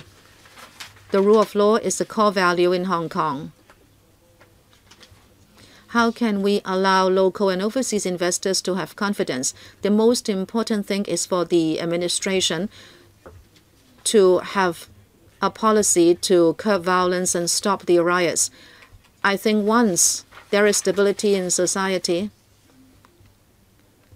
there will be positive publicity about Hong Kong, and international investors will again have confidence in Hong Kong. Secondly, these riots and social division have impacted on the financial service sector. The FS has launched three batches of relief measures, but our sector has not benefited. We hope to have two things. Number one, uh, the annual fee for registered people at the SFC. There are 46,000 people registered. I hope that the annual license fees can be waived for next year. So it makes things easier for us. And number two, we'd like to have an upgrading of the Hong Kong X system. And also about recognition of businesses, can we be included under the technology voucher scheme so we can have better IT development and uh, so you can help us ease our difficulty with cash flow? Secretary, I hope you and your colleagues can help us uh, ride out the storm together. Well, Chairman, we have uh, talked about curbing violence and stopping the riots many times. Of course, we all want to stop the riots soon so um, the financial services as well as people's daily lives and all other sectors can return to normal again. I said we are managing it on different fronts. The police will tackle the violence on the street level, and also we are going to review and also study the deep-seated problems. Chairman, you mentioned two issues, the upgrading of Hong Kong EX system and also the payment of the registration fees. We understand you have concerns about the fees, and we are looking into how we can deal with it. As for the Hong Kong X systems, we know very well that SMEs are concerned about the financial burden that may result from upgrading of the Hong Kong X systems. And we are looking into the issue to see how we can use different ways and means to upgrade the system so uh, we can tackle remote onboarding in an effective way. We hope there'll be better ways to help security firms and SMEs. We'll work on these things. Thank you, Secretary, and thank you for coming here to answer uh, our many questions. Thank you.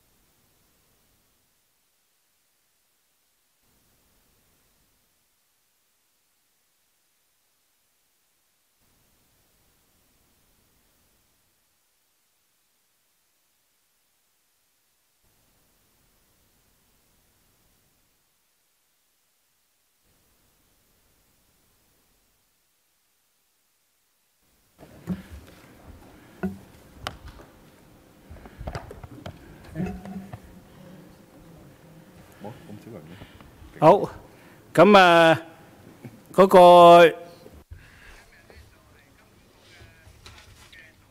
We have the new chief executive of the Hong Kong MA joining us today. So let's uh, show our appreciation. Let me go through the list. Mr. Eddie Yue is the Chief Executive of the Hong Kong Monetary Authority, and we also have Mr. Arthur Yuen, Deputy Chief Executive, Mr. Howard Lee, Deputy Chief Executive, and Mr. Edmund Lau, Senior Executive Director, and the Hong Kong MA's team. Welcome to our meeting. So I should give the floor to um, the uh, Chief Executive to brief us on the work. Thank you, Chairman. Uh, like you said, this is the first time our new team is attending the LegCo's panel on financial affairs to give a briefing.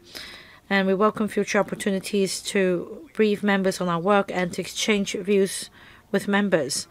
We'll follow the established practice. I will first refer to the uh, global envi- economic environment and also our view on the uh, and assessment of risk to Hong Kong's financial stability. My colleagues will then brief members on other areas. There are a number of global, global economic risks. It seems that there is a significant weakening in the global growth momentum with the weakening of the drivers at the same time, and there is also some uncertainty over the US China trade talks. Whereas for various central banks, uh, the interest rate is still an issue, with the US outlook remains uncertain. Geopolitical risks remains uncertain. For the Middle East, the US Iraq relations, we should also uh, give some attention. With the weakening of the global growth momentum, we can refer to these charts. One is the IMF Global Economic Growth Projection. They've lowered the projection to 3% in 2019, the lowest economic growth globally since 2009, when the financial tsunami occurred. As for the Asia, Asian economies, again we see a tapering of the economic growth for open economies relying more heavily on trade, such as Singapore and Hong Kong, you will see the uh, decline in growth is more rapid than other areas in Asia. One reason for the weakening global economic growth is the US China trade war. If we take a look at the left hand side chart for economies and industries more related to mainland China, the industries uh, or industry chains will be more severely affected, such as South, South Korea, Japan, Singapore. We note a drastic drop in export. And overall speaking, if we take a look at the business confidence chart on the right, different economies we see a drop in confidence. The pink chart represents the first half of 2018. The red uh, bar represents the uh, third quarter of 2019. The uh, there is a decline in business confidence, and the calculation is based on the composite PMI. And against this backdrop, we see the cutting of rates by central banks around the world, be it US, Europe, China, and Australia. Recently, they have cut their interest rates, especially the US Fed Reserve just cut the rate by 25 basis points. After 10 years of monetary easing policy and ultra low interest rate environment, they had gradually increased uh, interest rates, but there is limited room for further rate cuts. So if the economy uh, undergoes a further downward pressure, it is questionable how much stimulus will be brought about with the cutting of rates. You can see that uh, for U.S. interest rate, it has dropped by 75 basis points. The future trend, however, is unsure because, according to Fed Reserve, last week the interest rate at the moment is uh, is by and large appropriate. However, this is an open-end remark because the future trend will depend on the projections and economic figures. On the right-hand side, you see the Fed's projection um, by um, and the market's analysis of the projection.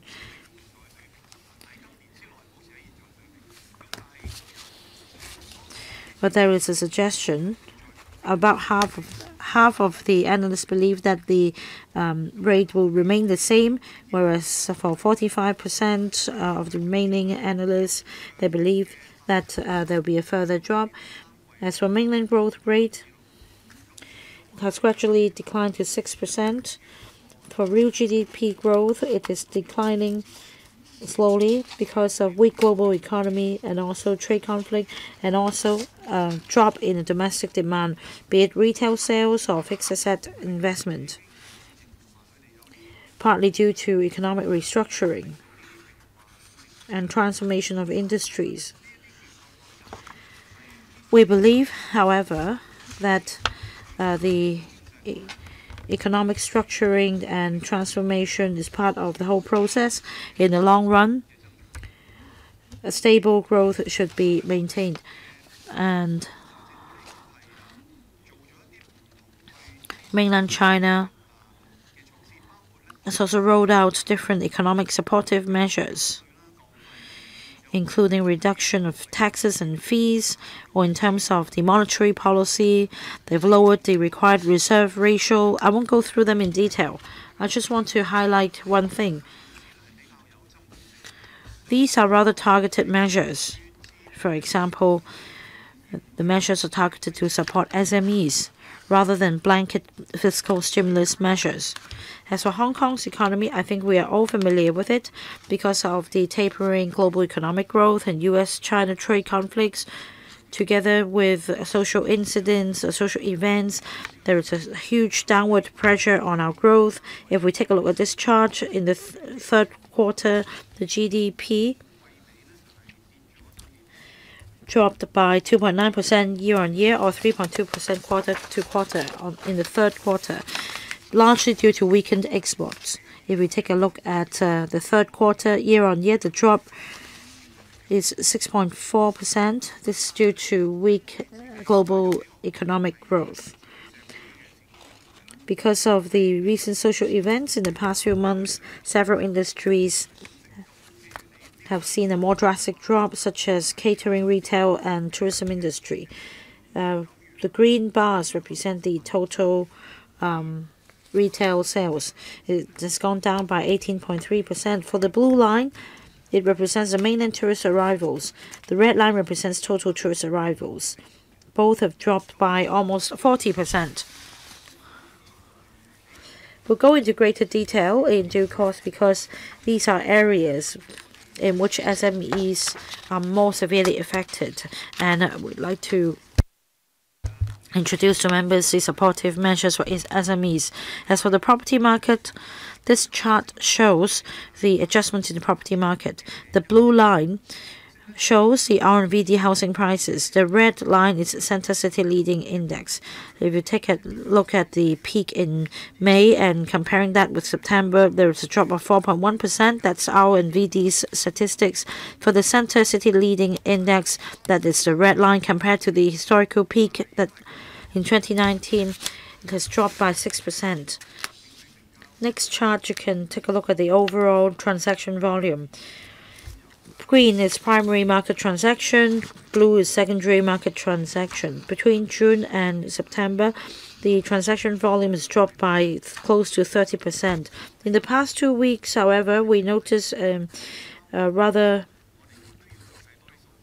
more activities in the secondary market. We need to, however, um, check the further uh, figures. As for the financial sector, because of the social events in recent months, our major concern, of course, is whether our financial system is affected. I would say that our financial sector is by and large robust and sound. The Hong Kong dollar deposit uh, remains robust without major fund outflows. Banks are well capitalized with abundant liquidity. However, in recent months, we have noticed rumors circulating, such as the uh, abolish um, the, uh, link rate link exchange rate system being abolished, etc. We appeal to members of the top public not to believe in these rumors easily. We do clarify these rumors instantly, and we do air our views on the internet and on social media to clarify these rumors. Let me reiterate. First of all, Hong Kong has neither the need nor the intention to change link exchange rate system. And Hong Kong will not impose capital or foreign exchange controls. This, this is safeguarded under Article 112 of the Basic Law, and our financial sector is well positioned to withstand market shocks. Now let me talk about the Hong Kong dollar market. If we take a look at the uh, chart in the right top right corner, the blue line shows the level of Hong Kong dollar in the past few months. The Hong Kong dollar stands at uh, 7.84. However, it may be stronger when there is IPO or when it's at the end of a quarter. It shows by and large the uh, smooth functioning of the Hong Kong dollar market and also the investors' confidence in our market. As for this uh, chart, you see that the monetary base remains stable. Uh, it is providing a lot of buffer. Um, if we take a look at the pink side, the banking system holds close to $1,000 billion of exchange fund bills and notes. Uh, this is the savings uh, as a result of capital inflow. And if there is possible capital or fund outflow in the future, this pink portion will provide good buffer. Next chart, blue line shows one-month HIBOR rate. Comparing to the U.S. counterparts, we are almost on a par. Uh, yet we need to also gauge the demand and supply of Hong Kong dollar. There may be fluctuations. Next chart shows the total the uh, deposit in our banking system. We have Hong Kong dollar deposit marked in red, U.S. dollar in green, and uh, also other foreign currency deposit in uh, purple. Hong Kong is an international financial market. Many enterprises use Hong Kong as their treasury center. Therefore, funds flow in and out of Hong Kong, and that is very normal. Therefore, when we look at these figures, do not only send concentrate on months, but look at a more longer term. In September, overall, the deposit levels have remained stable, and in Hong Kong dollars, it has risen by 0.6%. If we look at the entire year, the entire deposits have risen by 2.1%, and for Hong Kong dollars, it has risen by 3.4%. Therefore, in the banking sector, we cannot see that there is outflow of money from our banking system. Later on, Arthur will be talking about the bank loan um, quality. It is remaining very stable, and Arthur will talk about that. So our assessment of the financial sector is that if we look at outside risk, it is slowing of the global growth, and secondly, the trade conflict and its development. In within Hong Kong, of course, in terms of our real economy, there is significant worsening of it, and there is a lot of pressure brought on small and medium-sized enterprises. But then, overall speaking, we have maintained a stable financial system, and we don't see major capital flows from the Hong Kong dollar market or the Hong Kong banking system. And our banking and financial systems are extremely resilient. Of course, market conditions are subject to change. The Hong Kong MA therefore has stepped up surveillance efforts and we stand ready to introduce measures as necessary to maintain banking and financial stability. I will hand over to Arthur to talk about our banking system. Thank you, Prof, uh, Mr. Yue. I'd like to come back to this chart. First of all, the total loan volume. In the first nine months of 2019, it has risen by 6%. Therefore, after annualization, the annual growth rate would be about 8%. This is kind of moderate growth. Compared to 2018, the total loan growth was 8.4, uh, 4.4%. So uh, this year it is a little higher. There are still three months to go in the year.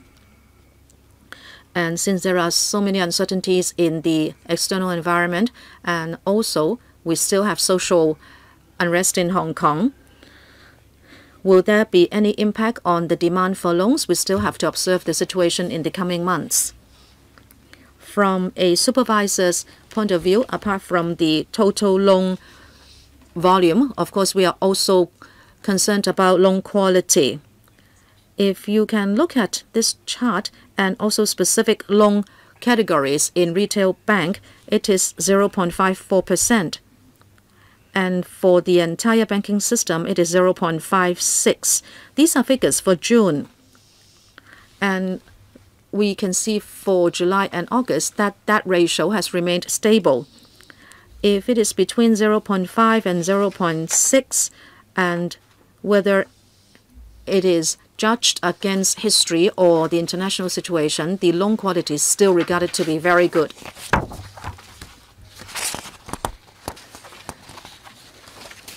I understand that in the discussion of this panel just now, and also as we have communicated with the sector, we understand that uh, people are very concerned about the operating environment of SMEs.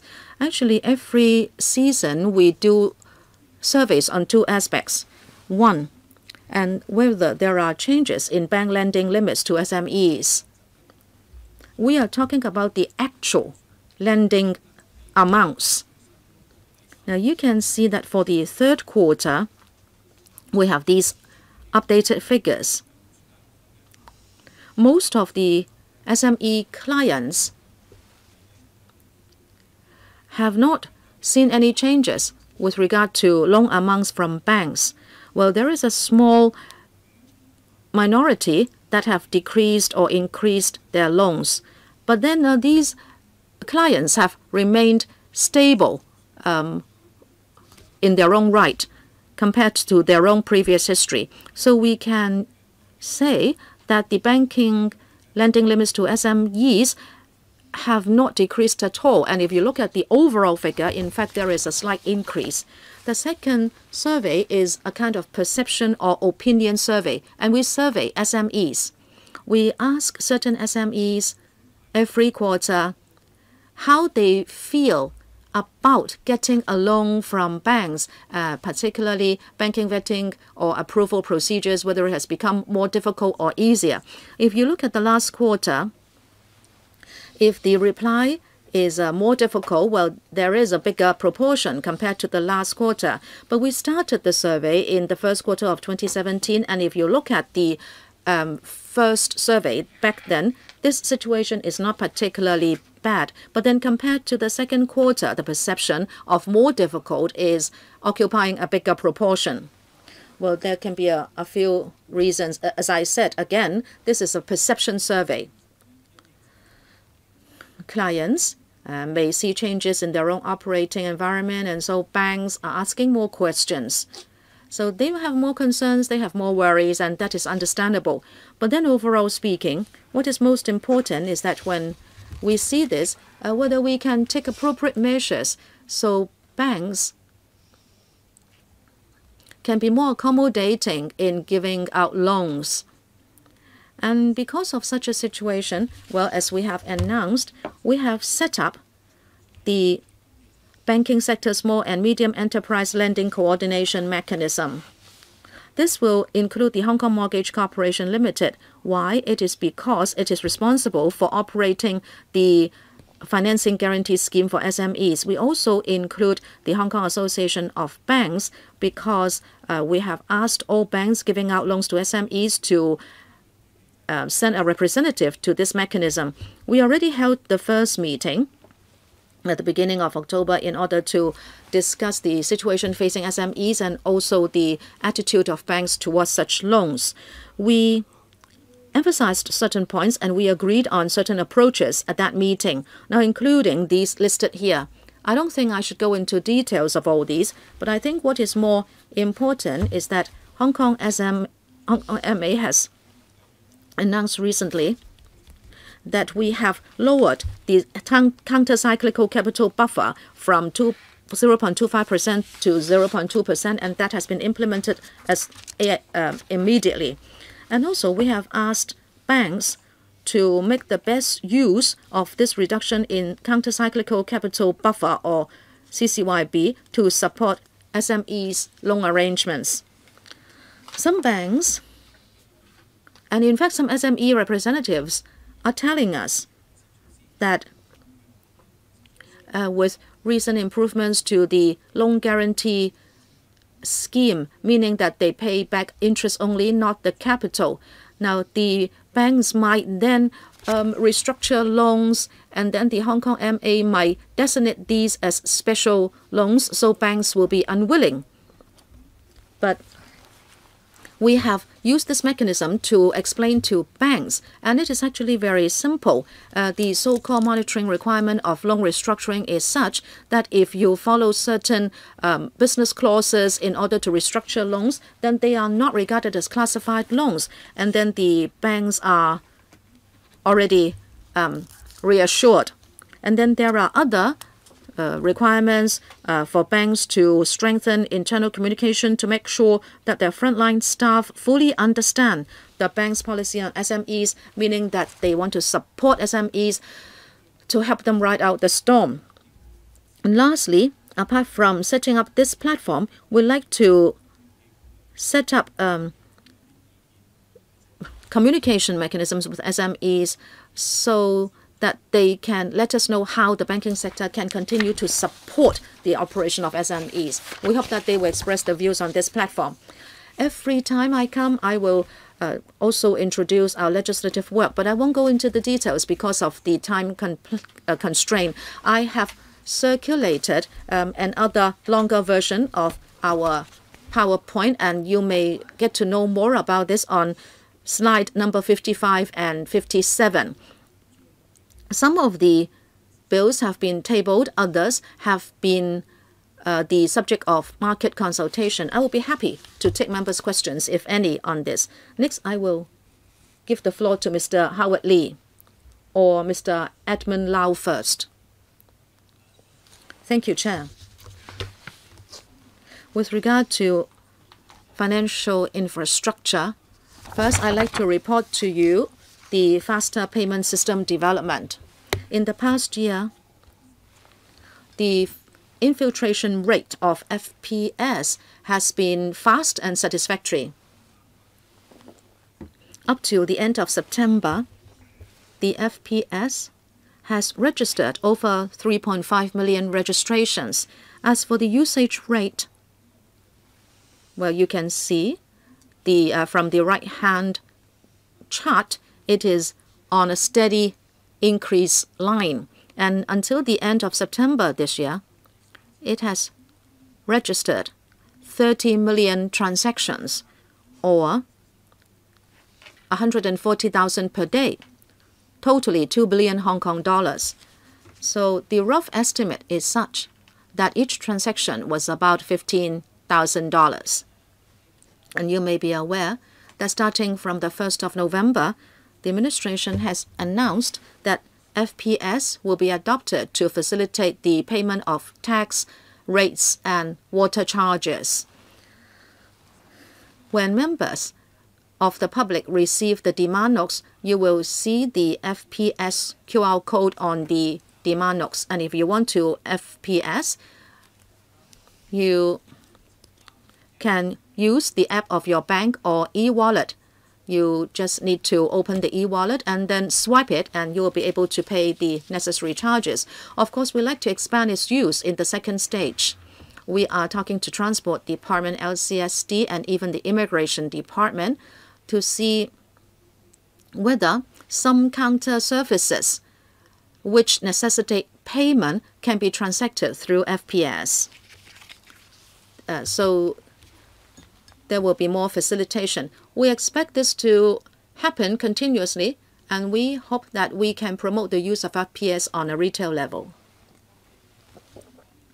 And then in terms of fintech, I'd like to report to you development on two fronts.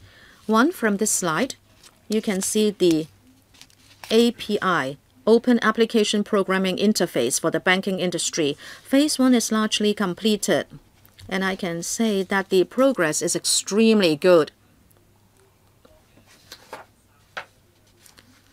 Together with third-party service suppliers, we have opened up a lot of um, information about banks, say, for example, foreign exchange rate and also mortgage rate information that has been open to third-party service suppliers. So members of the public will be able to gauge such information from the websites of third-party suppliers, and um, so they can easily compare the pricing among banks. After October, API has entered phase two, meaning members can of course continue to gauge the information and do pricing comparison on websites of third-party suppliers. But if you consider the price of a certain bank to be more aligned with your needs, then you can in fact apply for that service or product right there. And through such links, there will be a new experience for members of the public.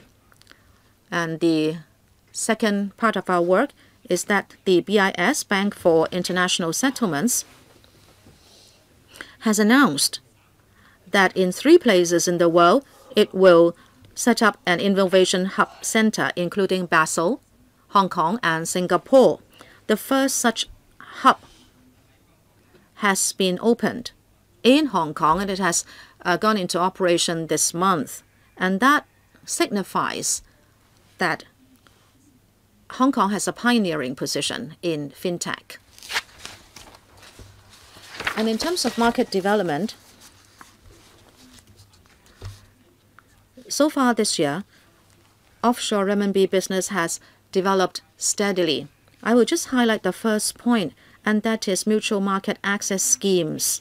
You'll remember that we have got that for Bond Connect, and the market response is extremely good especially this year,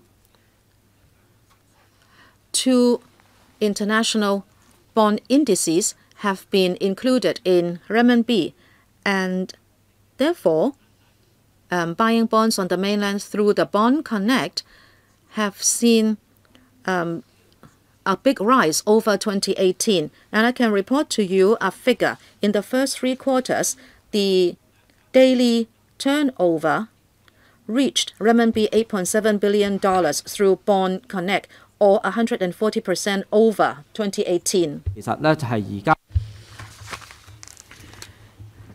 In terms of the RMB bonds held by global investors, two thirds uh, have been acquired through Bond Connect.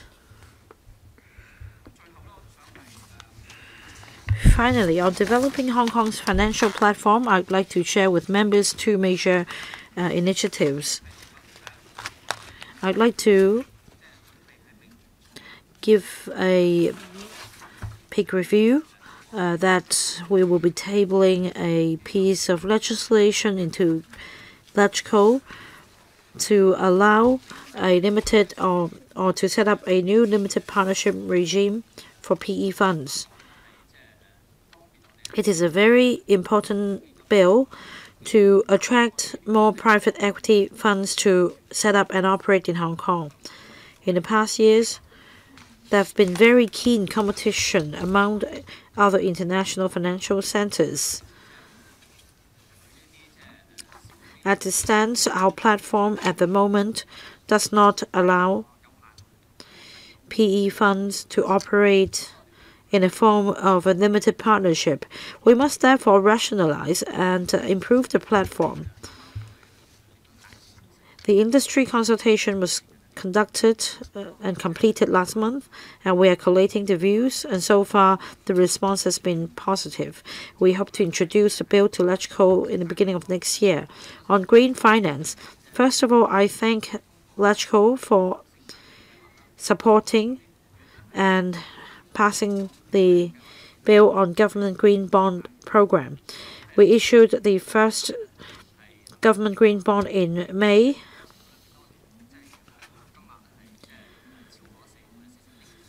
And the orders attract, uh, exceeded uh, 4 billion US dollars, four times more than the 1 billion dollar US dollar threshold. It shows the thriving development of green finance this year.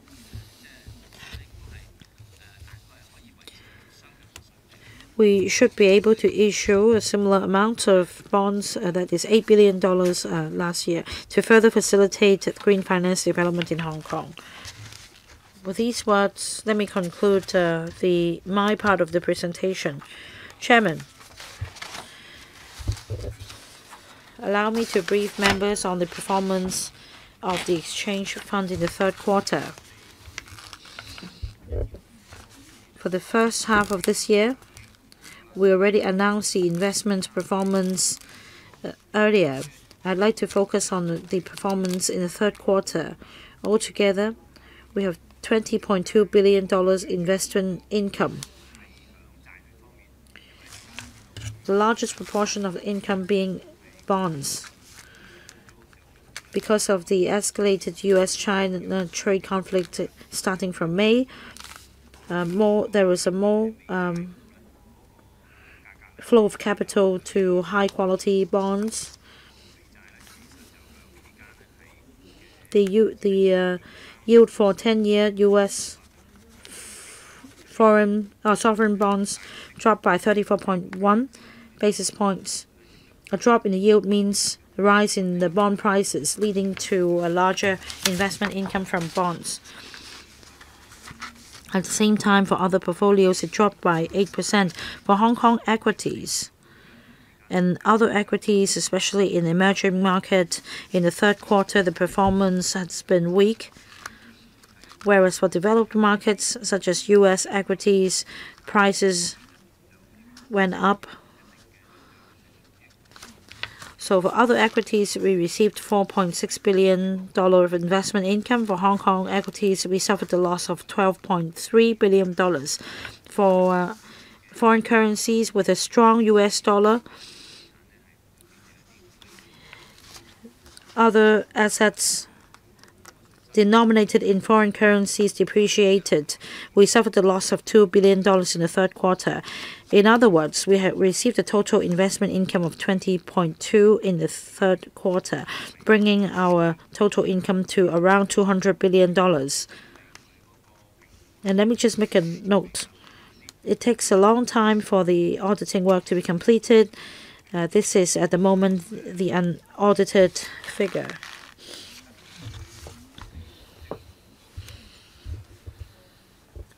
Next, according to our arrangement with the government in the third quarter, we also paid 7 point or $730 million of payment to fiscal reserves.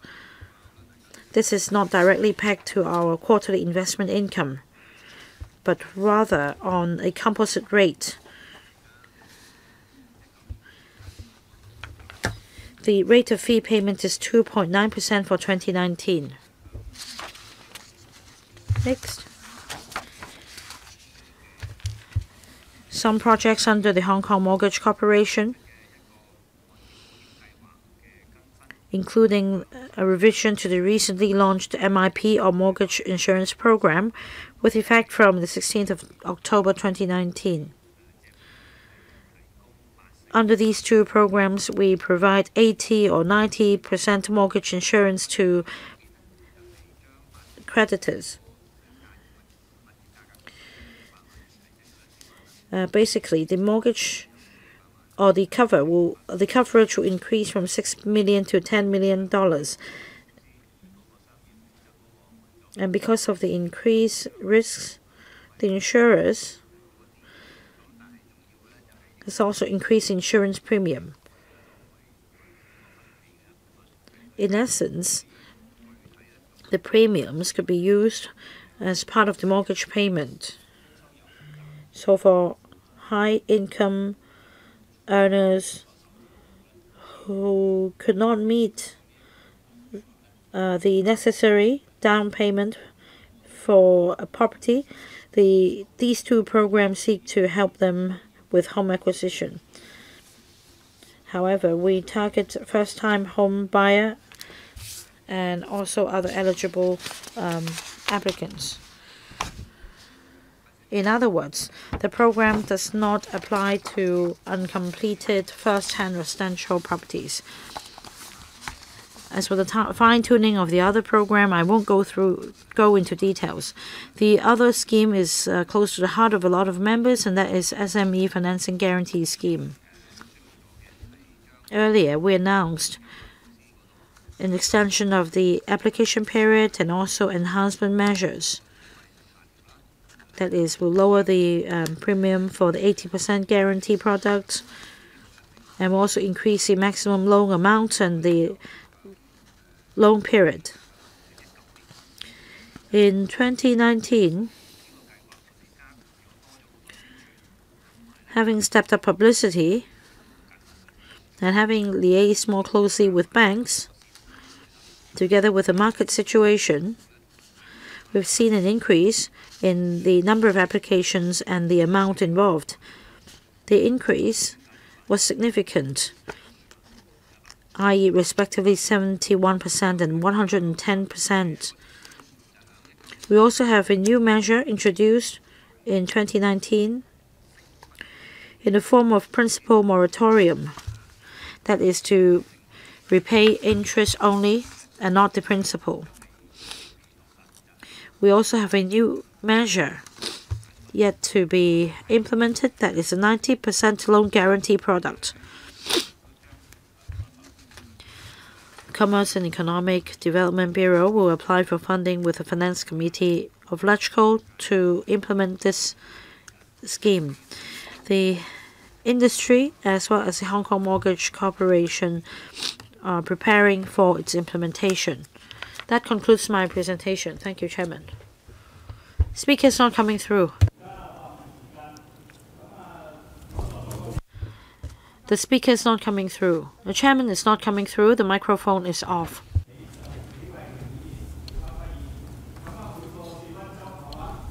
Oh. The speaker is not coming through. The microphone isn't switched on. Chairman's microphone isn't switched on. Thank you, Chairman. First of all, I thank Chief Executive Mr. Yue and his team for the presentation. I have a question on the uh, SME bank loan mechanism um, uh, scheme. This is SME lending coordination mechanism. I need to declare first of all uh, that um, it is said that um, it will be relaxed by 2% to give better support to SME. I want to know whether banks have made use of the relaxation to provide support for SMEs. Um, are there any change uh, changes in how SMEs financing capability is um, gauged? And about TransUnion, after the incident, it is said that uh, there will be a follow-up with the Hong Kong Association of Banks on enhancing the TransUnion's measure, and um, another personal credit agency will be introduced. It is said. I want to know the progress of these matters. The third question is about the Hong Kong Mortgage Corporation. That is a mortgage insurance program, MIP. It is said that the first-time home buyer will be assisted, but according to the policy address, as long as you do not own any property at the time of application, you will be regarded as a first-time home buyer. Now, after rolling out this program, I want to know whether you have collected the statistics and distinguish between a genuine first-time home buyer or the home buyer whom at the time of making the application have not uh, has not acquired any property at hand. Do you have any uh, statistics about the proportion and also about the investment performance of the exchange fund? We've heard the presentation from the Hong Kong MA all along for investments in bonds and other investments, the income has been quite stable. Uh, as to whether we can increase the proportion, I understand that uh, there is outstanding commitment yet to be uh, invested. I see that uh, there is a positive uh, yield from the uh, from investing into bonds. I understand that It is quite flexible. I want to know whether you yet I want to know whether you will do a timely review on the uh, on your investment portfolio. Let me answer the first four questions, and Howard could answer the next one.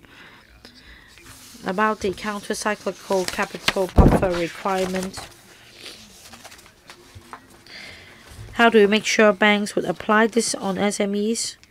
As we regularly liaise with banks, we understand and receive statements uh, from them. We um, we also get a picture of how they spend the uh, capital on loans.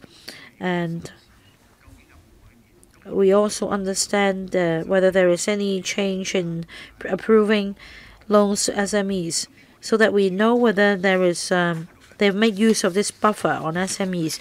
We keep close liaison with banks. The fourth question is on investment income or investment portfolio. In fact, for the long-term growth portfolio over the past decade, for the annualized income or return, it stood at some 13%, quite high, and there is room to invest further because we have yet to reach the upper limit. However, we must note that these are rather long-term investments with longer return period. With higher return, it is less um, liquid, and as a banking system as a whole, we need to make sure there is adequate liquidity. Or perhaps my colleague or Howard could supplement very briefly. Yes, let me supplement very briefly question one on how we gauge the SMEs uh, scheme. We have a coordination mechanism, and we conduct regular reviews. The preliminary plan is to meet every quarter. If necessary, we can meet more frequently. One standing item is about loans to SMEs. Uh, we will further discuss uh, how the buffer could be put to better use. About TransUnion, we propose to introduce another personal credit agency. But in fact, we don't propose just to introduce one more, but more than one such agency. And we are liaising very closely with the Hong Kong Association of Banks. In fact, HKAB has agreed that it is not ideal to just have one, and we will try to change the status quo. As to how we are going to do it, well, you can imagine if there is more than one credit Um, organization, then how can I ensure that the entire process of inquiry will be comprehensive? Well, there is a lot of follow-up concrete um, arrangement that has to be threshed out, and we are talking to the HKAB closely. Dr. Lo Wai Kwok. Chairman, I'd like to thank the new CEO of Hong Kong MA, Mr. Eddie Yue, for coming to our panel today. Together with his team, he has furnished us with very detailed information, and he has shown us that the Hong Kong economy is in dire straits. From the graphs, you can see that if we look at our GDP, our exports, our tourism, and other industries, you can see from the charts that there is a slide in all these aspects in the last quarter. Even if you look at the property market, you can see some adjustment. Information shows very clearly that when we are impacted by both internal and external factors, the Hong Kong economy will certainly go down a downward trend. But will it be a V-shaped or U-shaped situation? Well, V-shaped means you go down fast, but you also go up fast. But then if it is U-shaped, you may remain at rock bottom for some time before you can expect to have a rise. We hope we'll not end up in such a bad scenario. My question is, there are reports saying recently that Macau has plans to set up its own stock exchange to develop a renminbi offshore market, and the target is to set up a renminbi denominated stock market in Macau. It has engaged a consultant to do a feasibility study. Chairman, in terms of facilitation of finances in the Greater Bay Area, Hong Kong will not be the only one to benefit from it, and of course we shouldn't.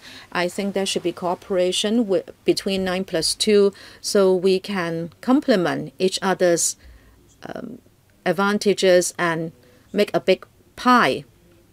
My question for Mr. Yue is that in terms of financial facilitation in Greater Bay Area, what is the expected development vis-à-vis Macau's recent announcement? Thank you. As we were saying, Macau has that plan, but actually in Hong Kong, we can already trade in renminbi denominated stocks and uh, we have got that mechanism. And in fact we had such stocks. However there was some difficulty. First uh, is there such a high rate of circulation for renminbi denominated stocks is it going to be as high as hong kong dollar based stocks if not then uh, their prices may be affected. And secondly, if we have renminbi denominated uh, renminbi denominated stocks, can we support that with the overall circulation of renminbi in Hong Kong? The situation has become better in the last one two years because international investors have higher demand and interest in renminbi denominated stocks, and renminbi circulation in Hong Kong is high. That is why, together with Hong Kong X and SFC, we have been studying into when it is the time or whether we have the opportunity to have more renminbi denominated stocks in Hong Kong. Renminbi denominated bonds are actually trading quite buoyantly in the renminbi offshore market, and many mainland issuers are using Hong Kong's stock market. But then, if we are talking about renminbi denominated stocks, and, and you ask us whether we have opportunity to de develop it. Well, if Greater Bay Area international enterprises want to come to Hong Kong to trade in renminbi denominated stocks, well, yes, we certainly look in that direction. Chairman, we have partners and also positive competition in the Greater Bay Area. Shenzhen and Macau both have plans in this regard. I think we must be forward looking and we must draft concrete plans to help make a big pie together so we uh, grasp the business opportunities in good time. Sorry, speaker not coming through. The chairman's mic is not on. Thank you. Next member, Mr. Chan Kin Por. Thank you, Chair. First, I'd like to welcome Mr. Eddie Yue. He is attending this meeting as the CEO of Hong Kong MA for the first time. Mr. Edward Chan did an excellent job, but I'm sorry. I- am I'm sure Mr. Eddie Yue will, of course, uh, also shine. I'd like to refer to your presentation. Well, there are many rumors about Hong Kong uh, because of the uncertainties now, but I thank you for your clarifications. Well, I can tell other investors that in fact there will not be any uh, asset or foreign exchange control, and also Hong Kong will not have a depegging arrangement. Uh, since you have said the same today, I can say it to investors. And it is important to restore Hong Kong people's confidence, and also there must be swift responses whenever there are such rumors so that we can restore confidence. Um, do you have a, a, group, a chat group or something that you can issue announcements to at least 90% of Hong Kong's media so they know your response? I know you do it on your Facebook. Now, secondly, you are relaxing the mortgage insurance and the limit has been heightened for eligible banks. Now, if you use developers' high interest second mortgage, um, many people will have a difficult time. However, there are views saying that people would like property prices to fall further before they enter the market. But now the market is being helped. Well, of course, the administration says buy into the market only when you can afford it. But then people get the wrong message that you want to prop up prices. But I don't think you want to do it because the prices are still high. How can you make sure that people will not get the wrong message so that they suffer later? Number three, I think the global scene is such that interest should rise. But uh, instead of doing it, interests are being reduced. I think that's because of political reasons and also whether people are capable or daring. But the thing is, the result will that the assets will have a bubble effect and in the end the bubble will burst. So what are you going to do about the situation? Because instead of uh, raising interest rate, the interest rate is dropping. First, thank you, Mr. Chan. In the present situation, if there are rumors circulating about our financial system, we will certainly respond swiftly and clarify. Timing is important.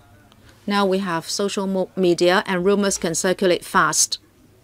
Our aim is within two, or three hours of a rumor, uh, we will use Facebook, for example, uh, to clarify, and we'll also use the traditional media by issuing a statement. Apart from timing, we also want wide circulation of our clarification. Apart from the normal media in Hong Kong and we use our own social media network, we are also trying to organize a, a more systematic approach so we can have wider circulation. And also internationally, if we know international investors, asset management companies, central banks, and international supervisors, we will issue the message to them in the first instant instance as well. Because the faster you feed the message to them, the smaller the chance they will read other rumors. So we will do more so that our message will spread uh, far and wide. Secondly, about mortgage insurance. You know that the present improvement measure is to help those who have the capacity to pay installments but not the down payment. They might be forced to use the first hand market and sometimes the loans can fetch a high interest. Now we'd like to give them another choice, but we have explained to the public that in fact buying property is an important and uh, serious investment decision. Therefore, when they want to buy property, they must be careful about uh, their own financial capacity and also assessment of the market. And the market can be affected by many factors like supply, the economic situation, the social atmosphere, and you must do your own assessment and think carefully about your own financial capacity. I think that message has to go out clearly and everybody should make his own judgment. Number three, you are correct when there is a low interest environment and when asset prices are not low at all, we see this a kind of financial risk. But then on the other hand, if interest suddenly hike, that risk might be realized. And if interest should hike, then we should also look at the trend of the international inflation rate if you can see the US economy, it has been expanding for two, three years, but the inflation rate has been kept low. Now, will that rate go up so that central banks may have to adopt another interest rate path? Well, we have to observe that, but we must pay attention to that risk. Thank you. Next, Ms. Starry Lee. Chairman, I also welcome the CEO, who is coming to the LegCo for the first time. But this is not an easy time for you because we are facing a huge challenge. Financial stability is the most important thing for Hong Kong, and I ask the CEO and his team to pay special attention. When the external environment is extremely challenging, And given the present Hong Kong economic situation, which has seen an unprecedented downward trend, you must ensure that you uh, are ahead of our financial risk, and you must be careful about capital outflow. In fact, there is less investment being planned for Hong Kong, as we know. And if overseas enterprises don't come to Hong Kong to invest, it will bring serious actual harm to Hong Kong. Mr. Yue, if you should see signs of such, please issue an early warning and also take um, remedial measures. Next, I'd like to ask about a fiscal policy in the PA. Mr. Lau did not have the chance to answer to this. In the PA, the CE would like to respond to people's aspirations for housing and land. Uh, she is going to invoke the land resumption ordinance, but people are concentrating on relaxing the property price for mortgage insurance. And it is said that they can take out at most 90% guarantee and the property price will be enhanced from 4 million to 8 million and some even 10 million. Once that message was out, many young people said that is it that the administration cannot think of better measures? They asked us to take out 90% um, mortgage by giving us the guarantee, and then the economic situation is so bad, and if property prices should fall, they would um, experience a negative equity situation. So people are questioning that policy, and in fact, property prices have risen as a result. What is your view about that policy, Mr. Yue?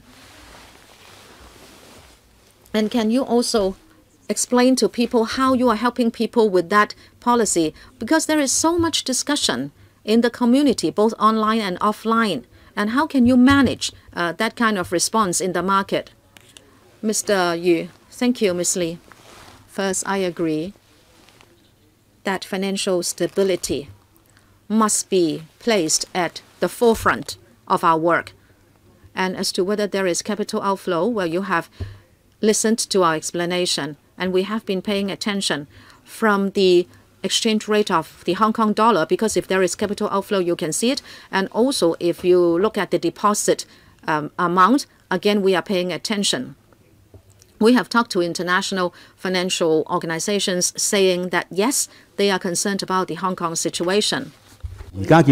Of course, what they want to see is for violent incidents to stop so that they're reassured. At the same time,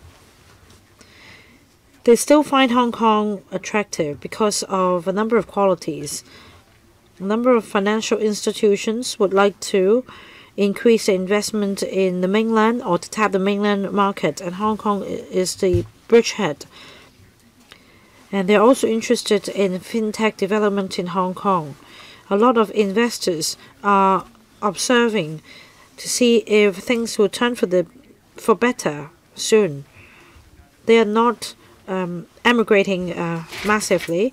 Of course, uh, there are also investors with more concerns on the future of Hong Kong, and they may decide to leave. As for the mortgage insurance program, our objective is to help prospective home buyers who are high income earning individuals and yet cannot uh, save up, up enough for a home down payment. In fact, for the past year or so, we've heard demands in the community that uh, these are needy home buyers. And if the loan to value ratio was just 80% and with a cap of 6 million Hong Kong dollars, they may find it hard to buy suitable property. And they may therefore need to take out additional loans from developers with less favorable conditions. And all these would compress the secondary market. We have considered all these views to see whether we can raise the cap on the value of property. Let's say if property prices have dropped by 4 to 6 percent, and if there are uncertainties on the property market, and if we decide to introduce this program at this juncture, like we said just now, we try to provide another choice for prospective home buyers. But after all, it's up to them to decide whether they could afford uh, the uh, mortgage, and they should also be aware of the risks. We understand there are various concerns. We we can uh, review our objective and uh, things that we should watch out for. Next, Mr. Peter Shiu. First of all, I welcome Mr. Eddie Yue, the Chief Executive of the Hong Kong MA, and I hope you will follow the steps of your predecessor and help us increase the investment income. So I hope you learn from your two predecessors. And I have the following comment to make. It's been four months since the extradition bill saga started, and I think everybody knows what is happening in Hong Kong.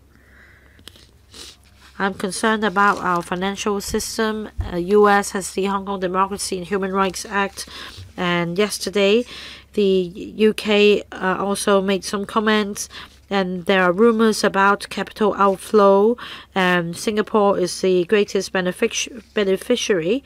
I don't know whether this question has been asked. I'd like to ask about capital outflow before and after the saga.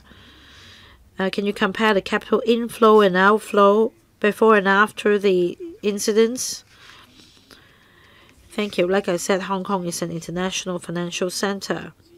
The flow of capital remains vibrant and active, so we do have the inflow as well as outflow of capital.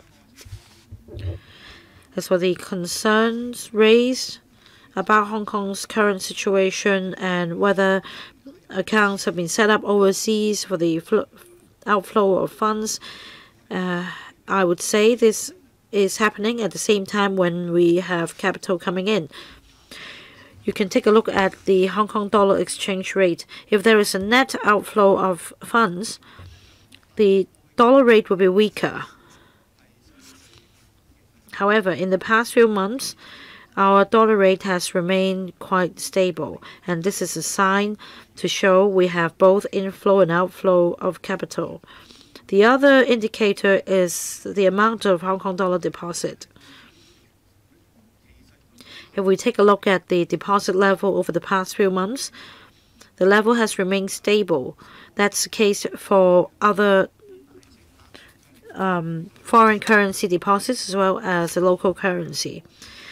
So the overall picture is stable. And when we talk to investors, of course, they express similar concerns about Hong Kong's situation. Yet we also have other investors expressing alternative views. If we take a long-term view, that is, if we want to tap the mainland market, which international financial center should we use? The answer is quite unanimous. We have a good platform that allows the entry into the mainland market, and we remain attractive in this regard. As for other mainland enterprises going global, which springboard should they use? Which financial center would allow them uh, the maximum benefits in terms of capital and financial management and, and asset management? The answer is Hong Kong. So our basic strengths remain the same as an international financial center. Yet we have investors raising more concerns now. What we need to do is to explain uh, to them and restore their confidence. More importantly, we need to stop the riot and curb violence so that we could expedite development. Next, Dr. Uh, Mr. Martin Liao. Thank you, Chairman. In fact, when the Hong Kong MA answered Mr. Lee's question, by and large, they've answered my question as well. but I'd like to ask a few questions about the industry. Let me set out the background. The RNVD last week announced a index about property, the sale of property prices. The index dropped for four consecutive months, uh, representing a decline. Last month, the chief executive announced in the policy address raising the cap on the value of property eligible for a mortgage loan. It is expected that the property market's drop will ease. It's been two months since the announcement of the relaxation measure. In terms of the approval of mortgage loans, according to the Hong Kong MA's understanding, has there been any irregularity? And so far, what has the Hong Kong MA done to help first time home buyers yet to save up for the down payment without adding pressure to them. Third, in terms of banks' approval of loans, what can be done to ensure stability of our financial system without causing a drastic increase in the property prices. I'm sorry, Chairman, I should have made a declaration before I ask the question. I'm an NED of a mainland bank, and the subsidiary of this mainland bank group conducts business in Hong Kong, including mortgage business. I will invite Arthur to take your question. Yes. After announcement of the relaxation of the MIP, on the first two or three days, we received inquiries from banks on one specific area, that is about the stress test, mortgage repayment ability, whether it is a mandatory test. As we make the the announcement, we already announced that uh, be it 80% or 90% LTV ratio, the overall repayment capability test still has to be conducted, and that is 50% for the stress test. With the increase in the cap on this value of property,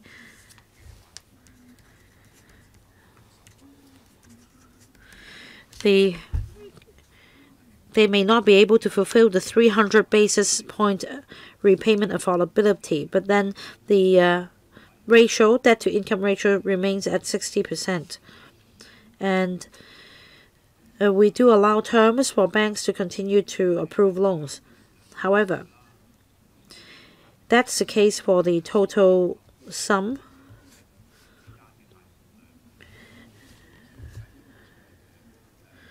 For banks, is it necessary to conduct another stress test on the DTI ratio of 50 to 60 percent? Our answer is that we do expect this to be calculated, but the main concern is whether the individual will be able to repay the loan. In subsequent days, we already clarified with banks, and now they are clear about the approval process we clear the uh, ambiguities. As for the other question, it is difficult to conclude on the basis of a single factor whether any measure rolled out will cause property prices to soar. In fact, this program is very specific. We target home buyers who have yet to save up for the necessary down payment, who are high income uh, earners with no property at hand, and who has the need to acquire property. As you may imagine, there are other choices in the market. Would these individuals be resorting to other channels to join the property market?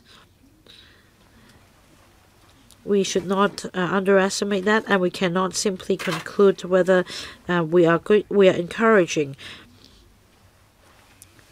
prospective home buyers who otherwise would be ineligible or who could not afford property, what we do is to offer another choice for the prospective buyers. It's up to them to make careful choices depending on, for example, the market situation, their affordability, and uh, whether they will be able to afford mortgage payment should interest rate hike. They need to be very careful. Next, Mr. James To. My question is very brief. There is a suggestion that because of various reasons, many members of the public are converting Hong Kong dollars, uh, Hong Kong dollar to US dollar or to other foreign currencies. I'd like to know the view of the government or the Hong Kong MA. Well, first of all, there is this concern that uh, you may suffer a loss as a result of the uh, interest rate spread.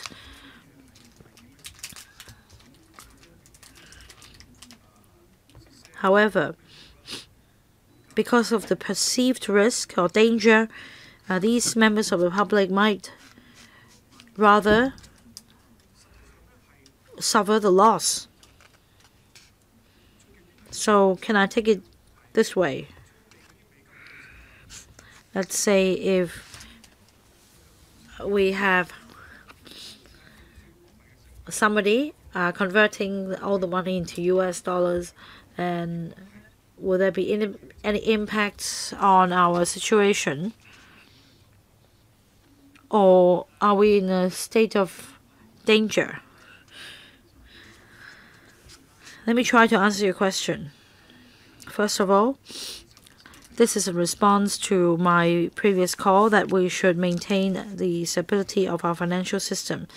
We should enhance communication with the public to reassure them I reiterate once again the linked exchange rate system does not change, and under the basic law, we're not going to impose any foreign uh, foreign currency control. It is hoped that this would give confidence to the public whether there is a need to convert our money into other currencies. I'm sorry, Mr. Yue. I understand full well uh, what you say. What you say, you are trying to reassure the public not to convert our money into foreign currencies, not or uh, not to bear the loss.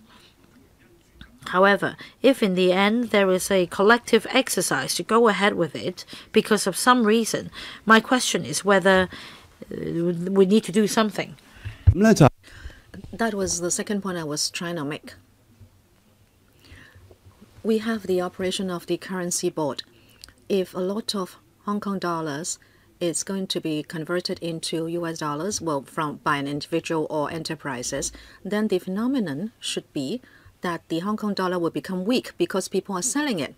Even if the banks get the Hong Kong dollars, they will have to sell it in the market, and in the end, it will reach the $7.85 weak side convertibility guarantee. And as you said, you will have enough um, resources. In other words, once you give me Hong Kong dollars, I will have to convert it to US dollars. But then how am I going to receive your Hong Kong dollars? The total balance will be of the banking sector will reflect it. If there is uh, selling of Hong Kong dollars on a major scale, then the there will be a drop in the total balance of the banking system. And one of the impact would be that the currency environment would be tighter and the interest will go up. In other words, apart from me having enough resources, the Hong Kong interest rate will climb. If that is the case, then uh, whether it is investors or residents or enterprises, that will attract people to convert back to the Hong Kong dollars, because they don't want to make a loss. And there is this natural adjustment mechanism under the arrangement of the currency board so that when there is an outflow of Hong Kong dollars for a, time, there will be incentives for it to flow back. In other words, apart from the US dollar resources, we have this stability mechanism. Okay, just one line, whether it is uh, an incentive about the interest rate Well, given the international and Hong Kong economic and political environments, do you think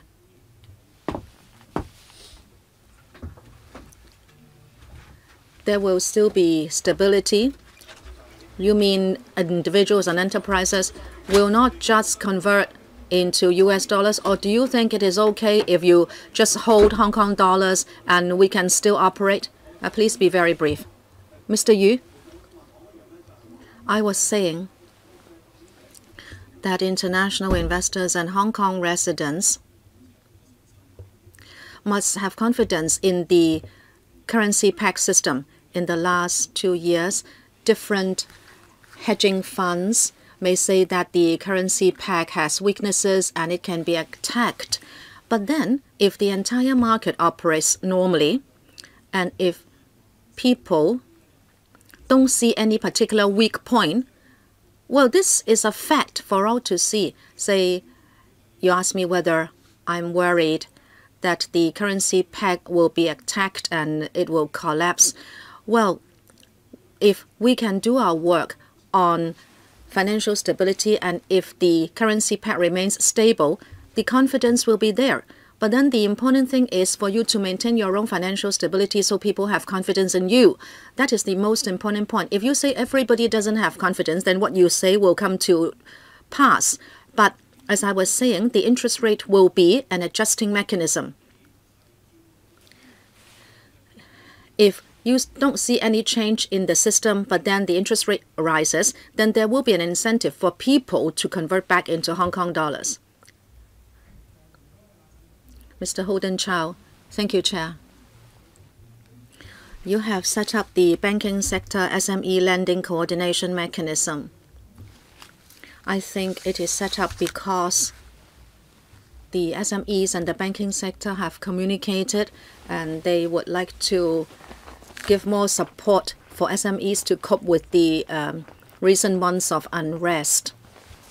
My question is, there may be such a mechanism made by the banking management, but then frontline staff may not really be able to grasp the mechanism and so they may close the door to SMEs. Well, but then today you say that with this mechanism, you have also um, trickled, trickled the message down to your frontline staff. My question for you is, since we have this mechanism, will you be making regular announcements to the public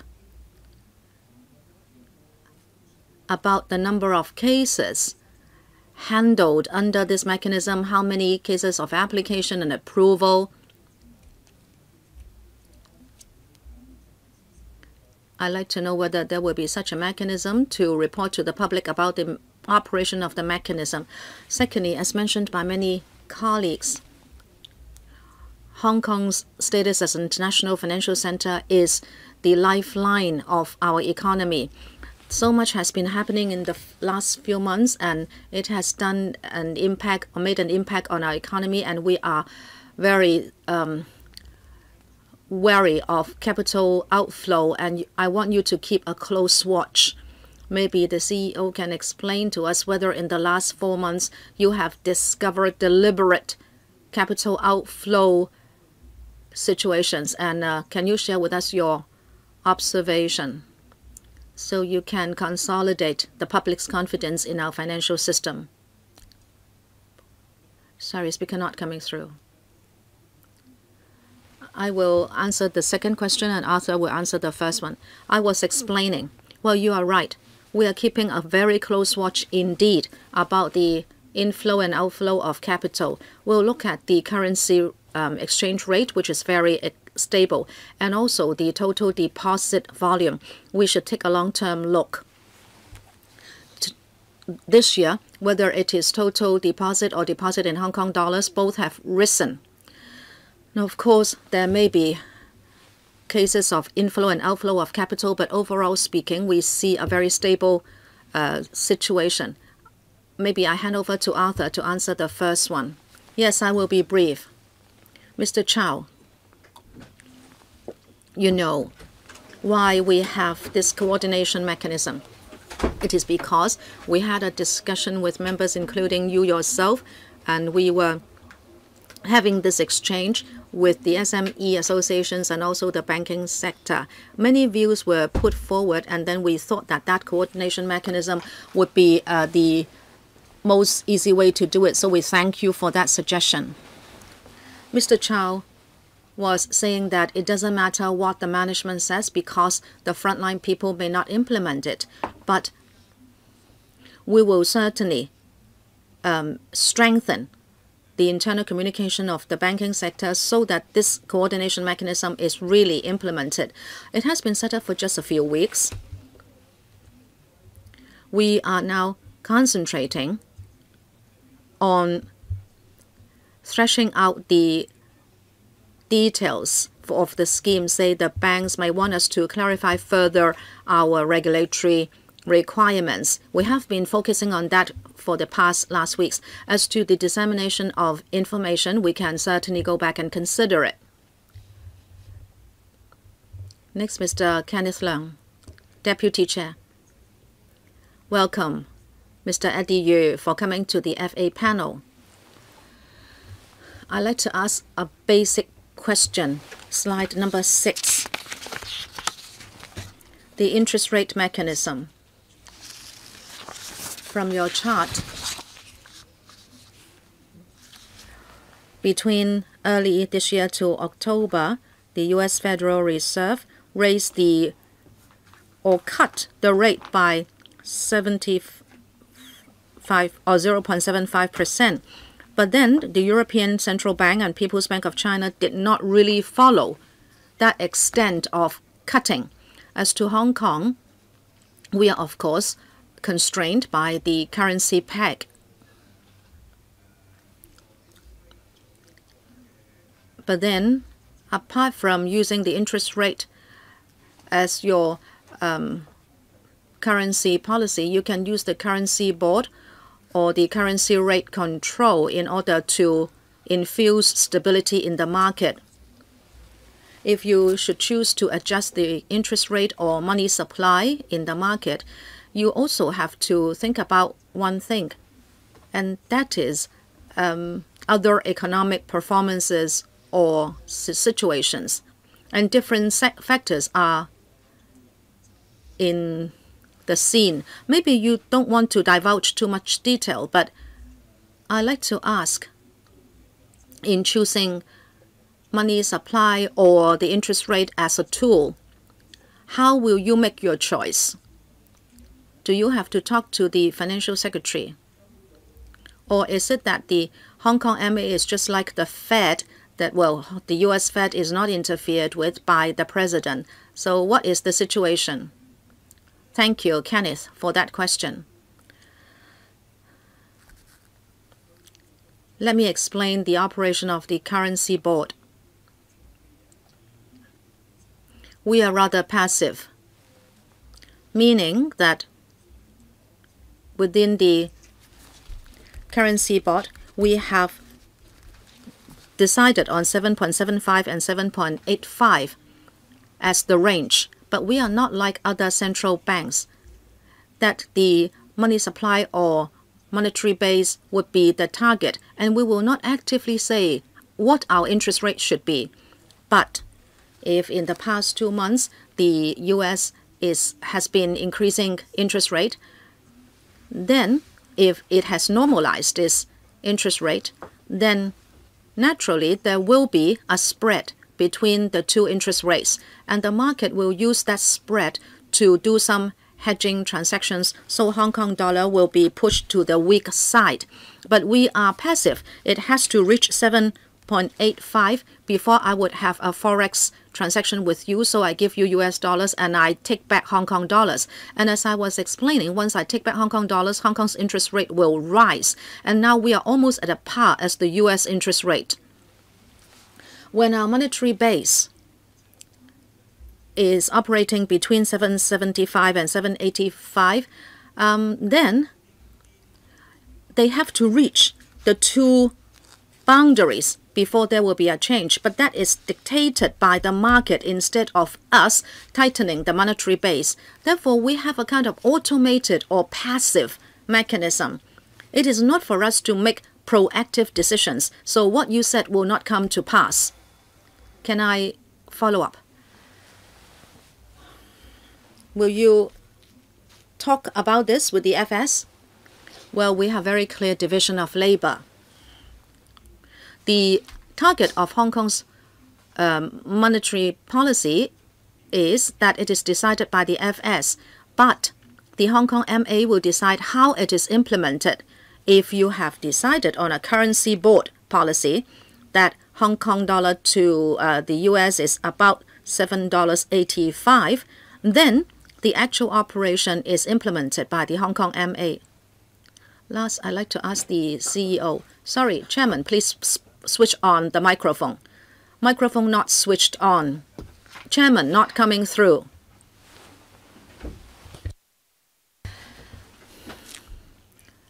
It's important to maintain monetary or financial security. There are many rumors recently, and CEO, you have responded swiftly and you have um, clarified the rumors.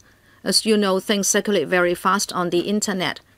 I think you have done very well, and I also trust you that the quality of our banking system is good and the flow of funds is stable. But we know many people have opened offshore banking accounts. Right now, there is no noticeable outflow of capital, but we can project that if the Hong Kong situation continues to deteriorate and if the administration cannot stop the riots and curb violence, then some people estimate that next year will be the peak of capital outflow. CEO, you have talked about a mechanism to adjust or check and balance the outflow of Hong Kong dollars. However, if riots continue, how good will that adjustment mechanism be?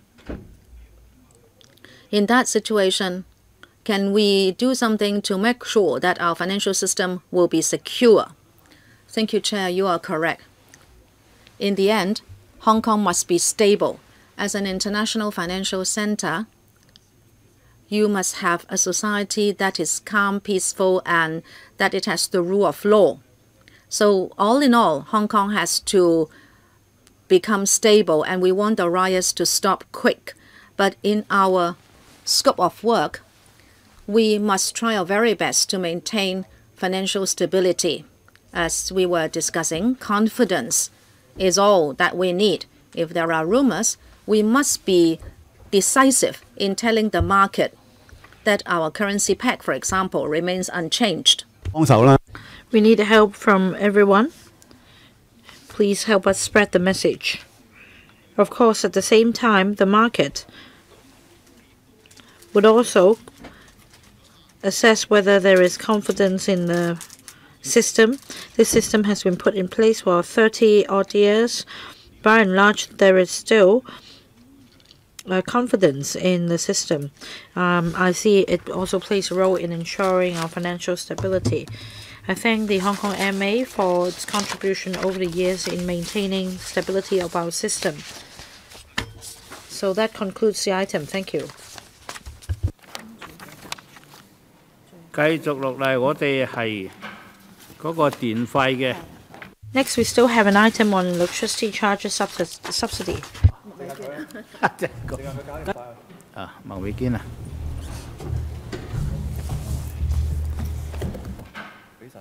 好啊。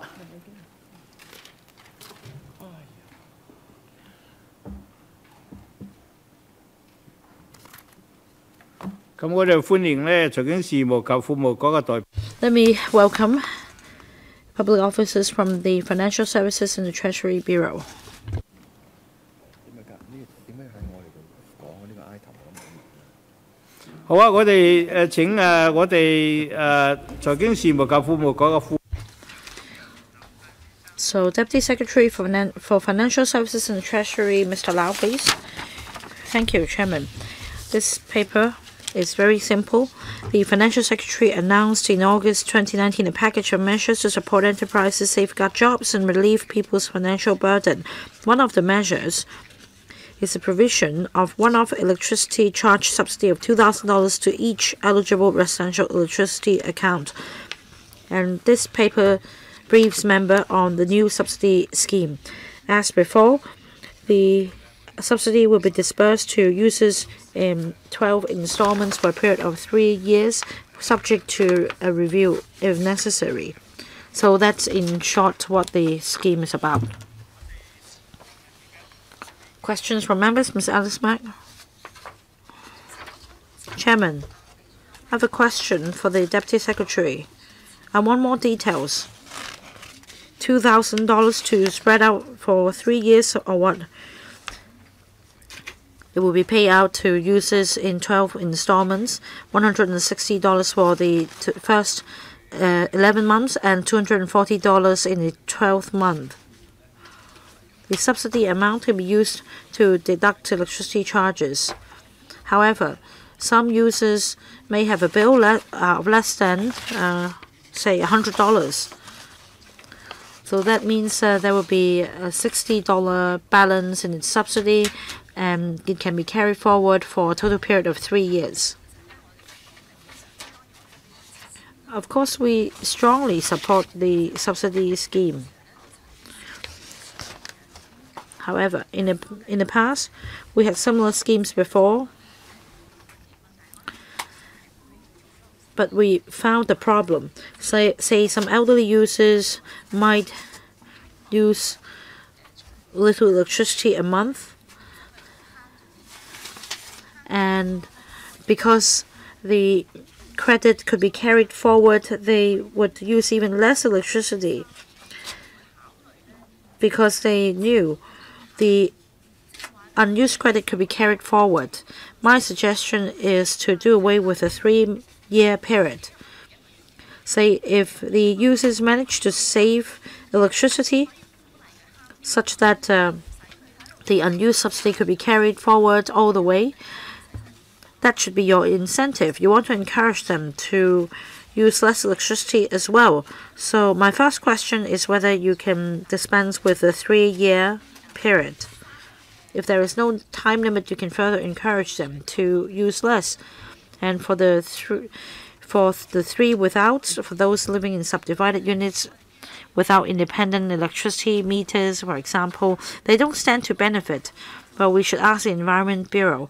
The CLP Power Hong Kong Limited once mentioned a scheme to help those living in subdivided units with separate electricity meters. So we want to know the progress. How will these tenants in SDUs be assisted? And whether the Environment Bureau or your bureau will agree uh, if we put in a private bill. I don't know if Chairman is aware of this situation. We have unscrupulous landlords um, jacking up the charges for example, they may impose a standard rate of $800 as an electricity charge, far more than that billed by the com power company. So I want to know the assistance provided by these by the power companies and Environment Bureau for SDU tenants to install separate electricity meters.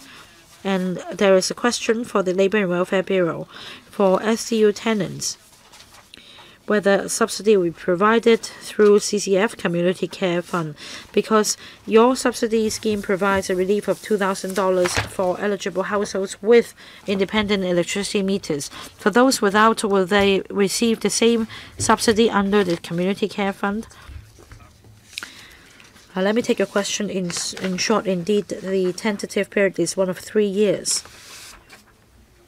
But as per our usual practice, we'll gauge the use, user's uh, pattern and we will suitably lengthen the period for carrying forward the unused balance. After introducing the new subsidy scheme, we at the same time do allow unused credit in the previous scheme to be carried forward for another three years. There is, in short, no fixed deadline. And two power companies have different schemes. The CLP Power has a community uh, scheme, and the Hong Kong Electric has another scheme with a different title, both providing electricity su subsidy to SDU tenants and also uh, assistance for them to install electricity meters. But the property management or landlord's consent must be sought before meters are installed. I don't have information at hand, but I can refer your question to the Environment Bureau for further information. As for the Community Care Fund and the subsidy to be disbursed under it, we will relay your suggestion to the Labour and Welfare Bureau for their consideration. Mr. Holden Chow. Thank you. Chairman, my question is this. We have the new subsidy scheme. Of course, I support that. This will provide more relief for the public. But I have a question. Now, the existing scheme is $2,000 in 12 installments.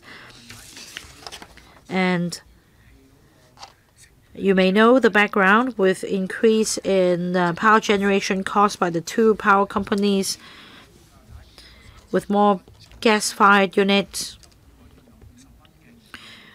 Uh, the government also introduced another scheme, $3,000 uh, to be paid in installments.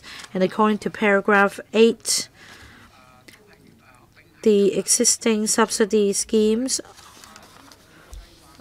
run in parallel with this one that is uh, the government credits $50 to each eligible uh, household for 60 consecutive months.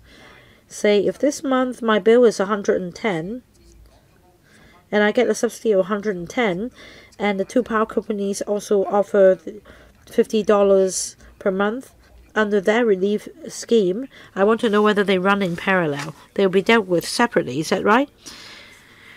Right. Uh, the member's understanding is entirely correct. There is no offsetting between the two amounts. This is a one-off relief measure that can run in parallel.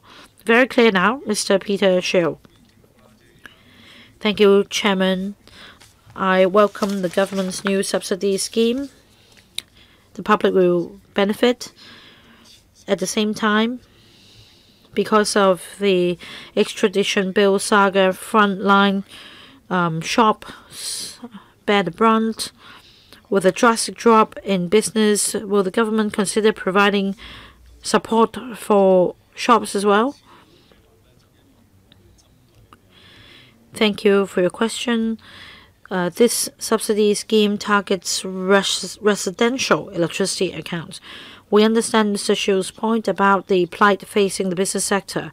We'll bring your view back to the government for consideration. Thank you. As soon as possible, please. We're in dire straits. Give as much help as you can, please. Speakers not coming through. No other questions. Thank you for coming. Thank you, Chairman.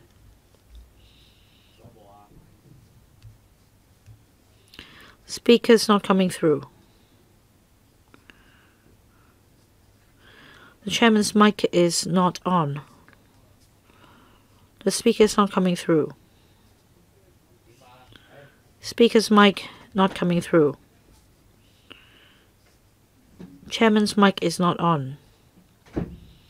The speaker is not coming through.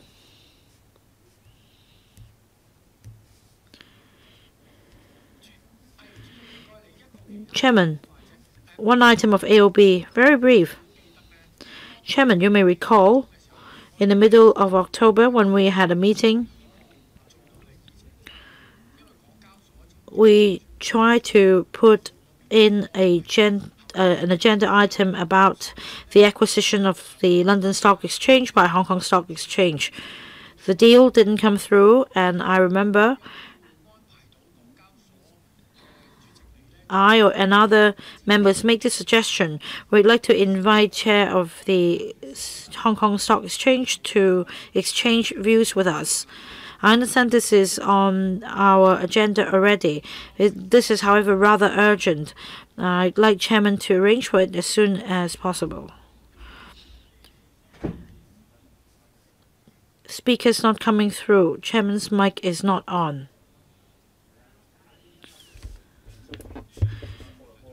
Perhaps this can go with another consultation.